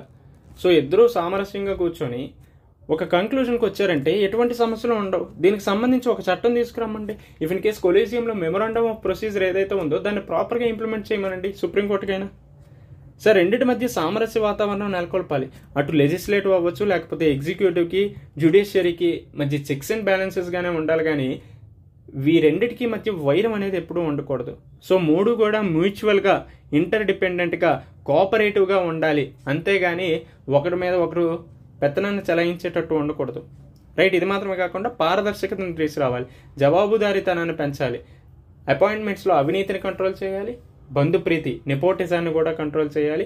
వీలైతే సీజీఐని ఆర్టీఐ పరిధిలోకి తీసుకొచ్చినట్టు సుప్రీంకోర్టుని ఈవెన్ జుడిషియల్ అపాయింట్మెంట్స్ని కూడా ఆర్టీఐ పరిధిలోకి తీసుకురావాలి. దీని ద్వారా ఏమవుతుందంటే ప్రజల్లో జుడిషియల్ అపాయింట్మెంట్స్కి సంబంధించి విశ్వసనీయత పెరుగుతుంది. రైట్ కేసుల్ని ఎలొకేట్ చేసే విషయంలో కూడా రోస్టర్ పద్ధతిని అనుసరిస్తున్నారు కదా. ఈ రోస్టర్ పద్ధతిలో కూడా కొన్ని మార్పులు తీసుకొస్తే ఖచ్చితంగా మంచి రిజల్ట్స్ అనేవి వస్తాయి. రైట్ ఈ విధంగా కొలీజియం చూసుకున్న తర్వాత పెండింగ్ కేసెస్ గురించి ఫాస్ట్గా ఒక్కసారి చూసేద్దాం. సో అరౌండ్ పెండింగ్ కేసెస్ ఇండియాలో ఫైవ్ క్రోర్స్ వరకు ఉన్నాయి. సో భారత న్యాయ వ్యవస్థలో అటు సుప్రీంకోర్టులో అవ్వచ్చు హైకోర్టులో అవ్వచ్చు సబార్డినేట్ కోర్టులో పెండింగ్ కేసెస్ ఎన్ని ఉన్నాయంటే ఫైవ్ క్రోర్స్ కంటే ఎక్కువగానే ఉన్నాయి. సో సబార్డినేట్ కోర్ట్స్లో అయితే ఎయిటీ సెవెన్ పాయింట్ ఫోర్ గాను హైకోర్టులో అయితే ట్వెల్వ్ పాయింట్ ఫోర్ సుప్రీంకోర్టులో అయితే దాదాపు ఎనభై వేల కేసులు అనేవి పెండింగ్ కేసెస్ ఉన్నాయి. సో మనందరికీ తెలుసు justice delayed is justice denied. So మన group one case mains case అయితే ఏదైతే ఉందో దాన్ని చక్కగా ఇక్కడ మనం అన్వయించుకొని చదువుకోవచ్చు. రైట్ పెండింగ్ కేసెస్ అనేవి ఎందుకు పెరుగుతున్నాయి? మెయిన్గా జడ్జిలు అనేవి తక్కువగా ఉన్నారు. So around judge to population ratio చూసుకుంటే ప్రతి పది లక్షల మందికి ఇరవై రెండు మాత్రం ఇరవై రెండు మంది మాత్రమే జడ్జిలు ఉన్నారు. అదే గ్లోబల్ యావరేజ్గా చూసుకుంటే అది ఫిఫ్టీ మంది యాభై మందిగా ఉన్నారు. సో ఈ విధంగా చూసుకుంటే జడ్జిల యొక్క శాతం అనేది చాలా తక్కువగా ఉంది. అదే చైనాలో తీసుకుంటే నూట యాభై మంది నూట యాభై తొమ్మిది మందిగా ఉన్నారు. మన ఇండియాలో ట్వంటీ టూగా ఉన్నారు. గ్లోబల్ యావరేజ్గా చూసుకుంటే యాభై మంది ఉన్నారు. దీన్ని బట్టి అర్థమైంది ఏంటి జడ్జిలు అనేవాళ్ళు భారతదేశంలో తక్కువగా ఉన్నారు. అట్ ది సేమ్ టైం పని భారం కూడా పెరుగుతుంది. ప్రజల హక్కుల మీద కూడా అవగాహన ఏర్పడింది. ఒకప్పుడు ప్రజలకి వాళ్ళ యొక్క పొలిటికల్ రైట్స్ గురించి అవ్వచ్చు వాళ్ళ ఫండమెంటల్ రైట్స్ అవ్వచ్చు వాళ్ళ సోషల్ రైట్స్ అవ్వచ్చు సివిక్ రైట్స్ అవ్వచ్చు వీటి మీద ఎటువంటి అవగాహన ఉండేది కాదు. సోషల్ మీడియా ఇంపాక్ట్ అవ్వచ్చు లేకపోతే సివిల్ సొసైటీ ఆర్గనైజేషన్స్ అవ్వచ్చు లేకపోతే హ్యూమన్ రైట్స్ యాక్టివిస్టుల వల్ల చాలా వరకు ప్రజల్లో అవేర్నెస్ అనేది ఏర్పడింది. దీనివల్ల కూడా ఏ సమస్య వచ్చినా వాళ్ళు జుడిషియరీని ఆశ్రయించడం జరుగుతుంది. దీనివల్ల కూడా కేసులు అనేవి పెరుగుతున్నాయి. సకాలంలో తీర్పులను వెలువరించకపోవడం వల్ల పెండింగ్ కేసెస్ అనేవి పెరుగుతున్నాయి. అట్ ది సేమ్ టైం కొత్త విధానాలు కొత్త హక్కులు ఏర్పడడం కొత్త విధానాలు అంటే రైట్ టు ఇన్ఫర్మేషన్ కొత్త హక్కులు అంటే ఇప్పుడు రైట్ టు ప్రైవసీ అవ్వచ్చు. లేకపోతే గోప్యత సమాచార హక్కు ఇంటర్నెట్ షట్డౌన్స్కి సంబంధించినటువంటి హక్కులు. రైట్ ఇటువంటి కొత్త హక్కులు కొత్త విధానాలు ఏర్పడటం వల్ల కూడా కేసులు అనేవి పెరుగుతున్నాయి. సో కేసులు సకాలంలో పెండింగ్ మనం కంప్లీట్ చేయకపోతే ఖచ్చితంగా పెండింగ్ అవుతాయి. At the same time budget కేటాయింపులు కూడా చాలా తక్కువగా ఉన్నాయి. దీనివల్ల ఏమవుతుంది? ఇన్ఫ్రా ఫెసిలిటీస్ అనేవి ఉండట్లేదు. కింది కోట్ల పనితీరు ఆశించినంత లేకపోవడం తీర్పుల్లో నాణ్యత కూడా లేకపోవడం వల్ల ఏమవుతుంది? సో ఇప్పుడు ఇన్ ఇఫ్ ఇన్ కేస్ మనం లార్జ్ జ్యుడిషియరీకి వెళ్ళామనుకో ప్రాపర్గా నాణ్యత లేకుండా ఏదైనా తీ- తీర్పు ఇచ్చారంటే ఖచ్చితంగా హైయర్ జ్యుడిషియరీకి వెళ్తాం. ఇప్పుడు ఫర్ ఎగ్జాంపుల్ హైకోర్టుకి వెళ్ళాం మన గ్రూప్ వన్ కేసు. కీలో మిస్టేక్స్ ఉన్నాయనేసి అందరికీ తెలుసు. బట్ ఎక్స్పర్ట్ కమిటీ చెప్పిన డెసిషన్ ఫైనల్ అనేది చెప్తున్నా. బట్ తీర్పులో నాణ్యత ఉందా లేదా అనేది ఇక్కడ అందరికీ తెలుసు. సో అందుకనే జీవో ట్వంటీ నైన్ ఇష్యూ మీద సుప్రీంకోర్టుకి వెళ్ళడం జరిగింది. ఇఫ్ ఇన్ కేస్ ఛాన్స్ ఉంటే మల్టిపుల్ రీజన్స్ కేసు అదేవిధంగా కీ కేసు కూడా మనం ఖచ్చితంగా అక్కడికి వెళ్ళొచ్చు కదా. సో ఈ విధంగా కోర్టులు పనితీరు ఆశించినంత లేకపోయినా తీర్పుల్లో నాణ్యత లేకపోయినా ఖచ్చితంగా పెండింగ్ కేసెస్ పెరుగుతాయి. ఎందుకు పెరుగుతాయి? లోవర్ జ్యుడిషియరీలో సరిగ్గా ఇవ్వకపోతే హయ్యర్ జ్యుడిషియరీకి వెళ్తాం. రైట్ ఇది మాత్రమే కాకుండా కోర్టుల్లో అతిపెద్ద లిటికెంట్గా ప్రభుత్వమే ఉంది. సగానికి పైన కేసుల్లో అన్నింటిలో కూడా లిటికెంట్ ప్రభుత్వమే ఉంది. సో ఇక్కడ సమస్యలు ఎవరు సృష్టించరు. ప్రజల కంటే ప్రభుత్వాలే ఎక్కువ సమస్యలు సృష్టిస్తే ప్రభుత్వాలే లిటిగెంట్లుగా ఉంటాయి. సో ఇక్కడ పెండింగ్ కేసెస్లు పెరగడానికి ప్రధానమైనటువంటి కారణం ప్రభుత్వమే చెప్పొచ్చు. రైట్? ఇది మాత్రమే కాకుండా సరైనటువంటి మౌలిక సదుపాయ సదుపాయాలు లేవు. వాయిదాలు ఎక్కువగా వేయటం పని రోజులు చాలా తక్కువగా ఉండడం హైకోర్టులో చాలా వరకు ఖాళీలు ఖాళీలను సరైన సమయంలో భర్తీ చేయలేకపోవడం సబార్డినేట్ కోర్ట్స్లో అరౌండ్ ట్వంటీ వన్ పర్సెంట్ ఖాళీలు ఉన్నాయి హైకోర్టులో అయితే ఫార్టీ పర్సెంట్ వరకు ఖాళీలు ఉన్నాయి. తొందరగా కేసులు సత్వర పరిష్కారం కోసం ఏర్పాటు చేయబడినటువంటి ట్రిబ్యునల్స్ స్పెషల్ కోర్ట్స్ ఏవైతే ఉన్నాయో ఈవెన్ అందులో కూడా ఇటీవల కాలంలో పెండింగ్ కేసెస్ పెరుగుతున్నాయి. అయితే ఈ పెండింగ్ కేసెస్ని కంట్రోల్ చేయాలంటే ఏ విధమైనటువంటి వే ఫార్వర్డ్ని మనం సూచించవచ్చు? ఒకటి alternative dispute redressal mechanism and also online dispute resolution mechanism ఏదైతే ఉందో వాటిని అవలంబించాల్సిన అవసరం ఉంది. ఫర్ ఎగ్జాంపుల్ ఆర్బిట్రేషన్ మీడియేషన్ లేకపోతే లోక్ అదాలత్స్ అవ్వచ్చు గ్రామ న్యాయాలయాలు అవ్వచ్చు రైట్ ఇటువంటి ఆల్టర్నేటివ్ డిస్ప్యూట్ రిడ్రెసల్ మెకానిజాన్ని అనుసరించాల్సిన అవసరం ఉంది. అండ్ ఆల్సో జుడిషియరీలో అడ్మినిస్ట్రేషన్కి సంబంధించినటువంటి ప్రత్యేకమైన ఏజెన్సీని ఏర్పాటు చేయాలి. సో ఇఫ్ ఇన్ కేస్ అడ్మినిస్ట్రేషన్కి సంబంధించి స్పెషల్ ఒక ఏజెన్సీ పెట్టుకుంటే మంచిది. కేసులను తొందరగా పరిష్కరించాలి. వాయిదాలు తగ్గించాలి. వాయిదాలు ఎక్కువగా ఉండటం వల్ల నిందితులు సాక్ష్యాలు తారుమారు చేసే ఆస్కారం ఉంది. సో దీనివల్ల ఏమవుతుంది? సత్వర న్యాయం ఇన్స్టాంట్ జస్టిస్ అనేది అందటం లేదు. సో సరైన సమయానికి న్యాయం అందకపోవడం కూడా అన్యాయంతోనే సమానం అనేది మనందరికీ తెలుసు. సో ఈ విధంగా సత్వర న్యాయం యొక్క ప్రాముఖ్యత ప్రాధాన్యత గురించి ప్రభుత్వాలు ఇటు సుప్రీంకోర్టు లేకపోతే కోర్టులో అర్థం చేసుకొని విక్టిమ్స్ ఎవరైతే ఉన్నారో వాళ్ళకి ఇన్స్టాంట్ జస్టిస్ అందించేటట్టు ప్రభుత్వాలు న్యాయవ్యవస్థలు పనిచేయాల్సిన అవసరం ఉంది. And also all India judicial సర్వీసెస్ని ఏర్పాటు చేయడం వీళ్ళకి మౌలిక సదుపాయాలు ప్రాపర్గా ఏర్పాటు చేసి కోర్టుల్లో ఐటీ ఆధారిత ఉపకరణాలను తీసుకురావడం వర్చువల్ కోర్సుని ఏర్పాటు చేయడం పని రోజులను పెంచడం సెలవు దినాలను తగ్గించడం సో ఇఫ్ ఇన్ కేస్ మన గ్రూప్ వన్ కేసు తీసుకోండి. అక్టోబర్ ఫోర్ యాక్చువల్లీ జడ్జిమెంట్ ఇవ్వాల్సింది. అక్టోబర్ ఫోర్టీన్త్కి అక్టోబర్ ఫిఫ్టీన్త్కి ఇవ్వడం జరిగింది. సో అరౌండ్ టెన్ డేస్ వీళ్ళకి దసరా సెలవులే ఇచ్చారు. సో ఈవెన్ స్కూల్స్కి కూడా అన్ని దసరా సెలవులు ఉండవు. ఈవెన్ గవర్నమెంట్ ఎంప్లాయీస్కి కూడా అన్ని సెలవులు ఉన్నప్పుడు ఎందుకు ఈ జ్యుడిషియరీ హయ్యర్ జుడిషియరీలో ఇన్ని సెలవులు ఎందుకు? సో ఇన్ని సెలవులు ఉండటం వల్లే పని రోజులు అనేవి తగ్గటం వల్లే పెండింగ్ కేసెస్లు పెరుగుతున్నాయి. సో ఈ పెండింగ్ కేసెస్ని కంట్రోల్ చేయాలంటే పని రోజులను పెంచాలి. సెలవు దినాలను తగ్గించాలి. బడ్జెట్ కేటాయింపులను పెంచాలి. సో ప్రస్తుతం zero point one zero point four percent ఏదైతే ఉందో దాన్ని వన్ పర్సెంట్కి పెంచాలి. కొత్త కోర్టులను ఏర్పాటు చేయాలి. వీలైతే fast track courts special courts ట్రిబ్యునల్ని ఏర్పాటు చేసి వాళ్ళకి సంబంధించి ప్రాపర్గా హ్యూమన్ రిసోర్సెస్ని ప్రొవైడ్ చేసి సత్వరంగా ఈ కేసులన్నింటినీ పరిష్కరించి అందరికీ న్యాయం జరిగేటట్టు చూడాలి. ఎక్కువగా ప్రభుత్వమే లిటికెంట్గా ఉంది కాబట్టి వీలైతే ఆర్బిట్రేషన్ మీడియేషన్కి వెళ్ళాలి. సో ప్రభుత్వం తన యొక్క మొండి వైఖరిని అనుసరించిందంటే సుప్రీంకోర్టు వెళ్ళిన తర్వాత దెబ్బలో ముట్టుకెళ్ళి కాయాల్సి వస్తుంది. సో వీలైతే ప్రభుత్వం ఈ ఆర్బిట్రేషన్ మీడియేషన్ మీద కొత్త చట్టాలు తీసుకురావడమే కాకుండా వీళ్ళు కూడా వాటిని అనుసరించాలి. అంటే గాంధీజీ చెప్పినట్టు మనం చెప్పడం కాదు చేసి చూపించాలి. సో ప్రభుత్వం కూడా చేసి చూపిస్తే బాగుంటుంది. అండ్ ఆల్సో కొలీజియం వ్యవస్థలో సంస్కరణలు తీసుకురావాలి. తొందరగా జడ్జిల నియామకాలను ఏర్పాటు చేయాలి. సో ఈ విధంగా చేయటం వల్ల ఖచ్చితంగా మార్పులు అనేవి వస్తాయి. ఇకపోతే మహిళల ప్రాతినిధ్యం ఉమెన్ ఇన్ జ్యుడిషియరీ చూసుకుంటే హయ్యర్ జ్యుడిషియరీలో ఉమెన్ యొక్క రిప్రజెంటేషన్ చాలా తక్కువగా ఉంది. రైట్ దాదాపు సుప్రీంకోర్టు ఏర్పడి రెండు వందల యాభై సంవత్సరాలు పూర్తయినప్పటికీ ఎప్పుడు సెవెంటీన్ సెవెంటీ ఫోర్లో ఏర్పాటు చేసి ఇప్పటి వరకు కూడా ఒక్క చీఫ్ జస్టిస్ మహిళ లేకపోవడం అంటే అర్థం చేసుకోండి. హయ్యర్ జ్యుడిషియరీలో మహిళల యొక్క ప్రాతినిధ్యం ఏ విధంగా ఉందో సో ప్రస్తుతం సుప్రీంకోర్టు జడ్జిల్లో ముప్పై మూడు మంది ఉంటే అందులో మహిళలు కేవలం నలుగురు మాత్రమే ఉన్నారు. స్టిల్ భారత స్వాతంత్రంలో ఒక్క చీఫ్ జస్టిస్ ఆఫ్ ఇండియా కూడా లేరు. ఇఫ్ ఇన్ కేస్ మన ఇండియాకి నాగరత్న గారు చీఫ్ జస్టిస్ ఆఫ్ ఇండియాగా రెండు వేల ఇరవై ఏడులో రావడానికి ఛాన్సెస్ ఉన్నాయి. రైట్ అదేవిధంగా హైకోర్టులో చూసుకుంటే అరౌండ్ లెవెన్ పాయింట్ ఫైవ్ పర్సెంటే ఉన్నారు. సబార్డినేట్స్లో అరౌండ్ థర్టీ పర్సెంటే ఉన్నారు. సో డెబ్బై ఐదేళ్ళ స్వాతంత్రంలో ఎప్పటికీ ఒక్క మహిళా ప్రధాన న్యాయమూర్తి ఎంపిక జరగలేదు.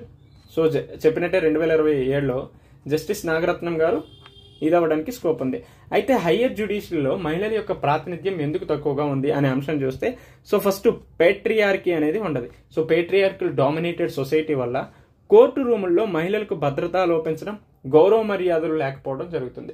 సో ఈ పేట్రియార్కీ అనే మెంటాలిటీ మనలో ఉండటం వల్ల వాళ్ళకి ప్రాపర్గా రెస్పెక్ట్ కూడా ఇవ్వడ ఇవ్వలేకపోతున్నా. సో ఈ విధంగా హయ్యర్ జ్యుడిషియల్లో ఉమెన్ రిప్రజెంటేషన్ ఉండట్లేదు. అండ్ ఆల్సో సబార్డినేట్ కోర్ట్స్లో మహిళల ప్రాతినిధ్యం ఎక్కువగా ఉంది. ఎందుకంటే రాత పరీక్ష ద్వారా ఎంపికవుతున్నారు. సో ఎక్కడైతే మెరిటోరియస్ బేస్డ్గా ఎగ్జామ్స్ ఉంటున్నాయో అక్కడ మూమెంట్ రిప్రజెంటేషన్ ఉంది. బట్ ఈ హైయర్ జ్యుడిషియల్ అంతా కూడా కొలీజియం ఉంది. కొలీజియం ఉండాలంటే అక్కడ ఖచ్చితంగా మెరిటోరియస్కి స్థానం లేకుండా పోయింది. సో ఇందాక చెప్పినట్టే కొలీజియంకి ఎందుకు విమర్శ ఎదురవుతుందంటే because of nepotism and favouritism so దీని వల్లనే హైయర్ జ్యుడిషియల్లో ఉమెన్ రిప్రజెంటేషన్ ఉండట్లేదు. రైట్ అదేవిధంగా ఎగువ న్యాయస్థానాల్లో హయ్యర్ జ్యుడిషియరీలో ఇప్పటి వరకు ఎటువంటి చర్యలను తీసుకున్న దాఖలాలు కూడా లేవు. మహిళలకు రిజర్వేషన్ సౌకర్యాలు కూడా హై హయ్యర్ జ్యుడిషియరీలో లేవు.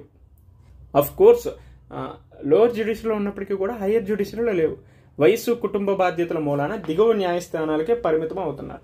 సో మోస్ట్లీ ఫ్యామిలీ ఏజ్ బేస్డ్గా ఇటువంటి అన్ని అంశాలు రెస్పాన్సిబిలిటీ వల్ల వీళ్ళు మోస్ట్లీ లోయర్ జ్యుడిషియరీకే పరిమితం అవుతున్నారు. అట్ ది సేమ్ టైం ఈ ఫ్యామిలీ అవ్వచ్చు వాళ్ళ యొక్క ఇండివిజువల్ అవ్వచ్చు లేకపోతే ఏజ్ బేస్డ్గా ఉండటం వల్ల డబుల్ బడ్డీని ఎక్కువ అవటం వల్ల కూడా లోయర్ జ్యుడిషియరీకే ఎక్కువగా పరిమితం అవడం జరుగుతుంది.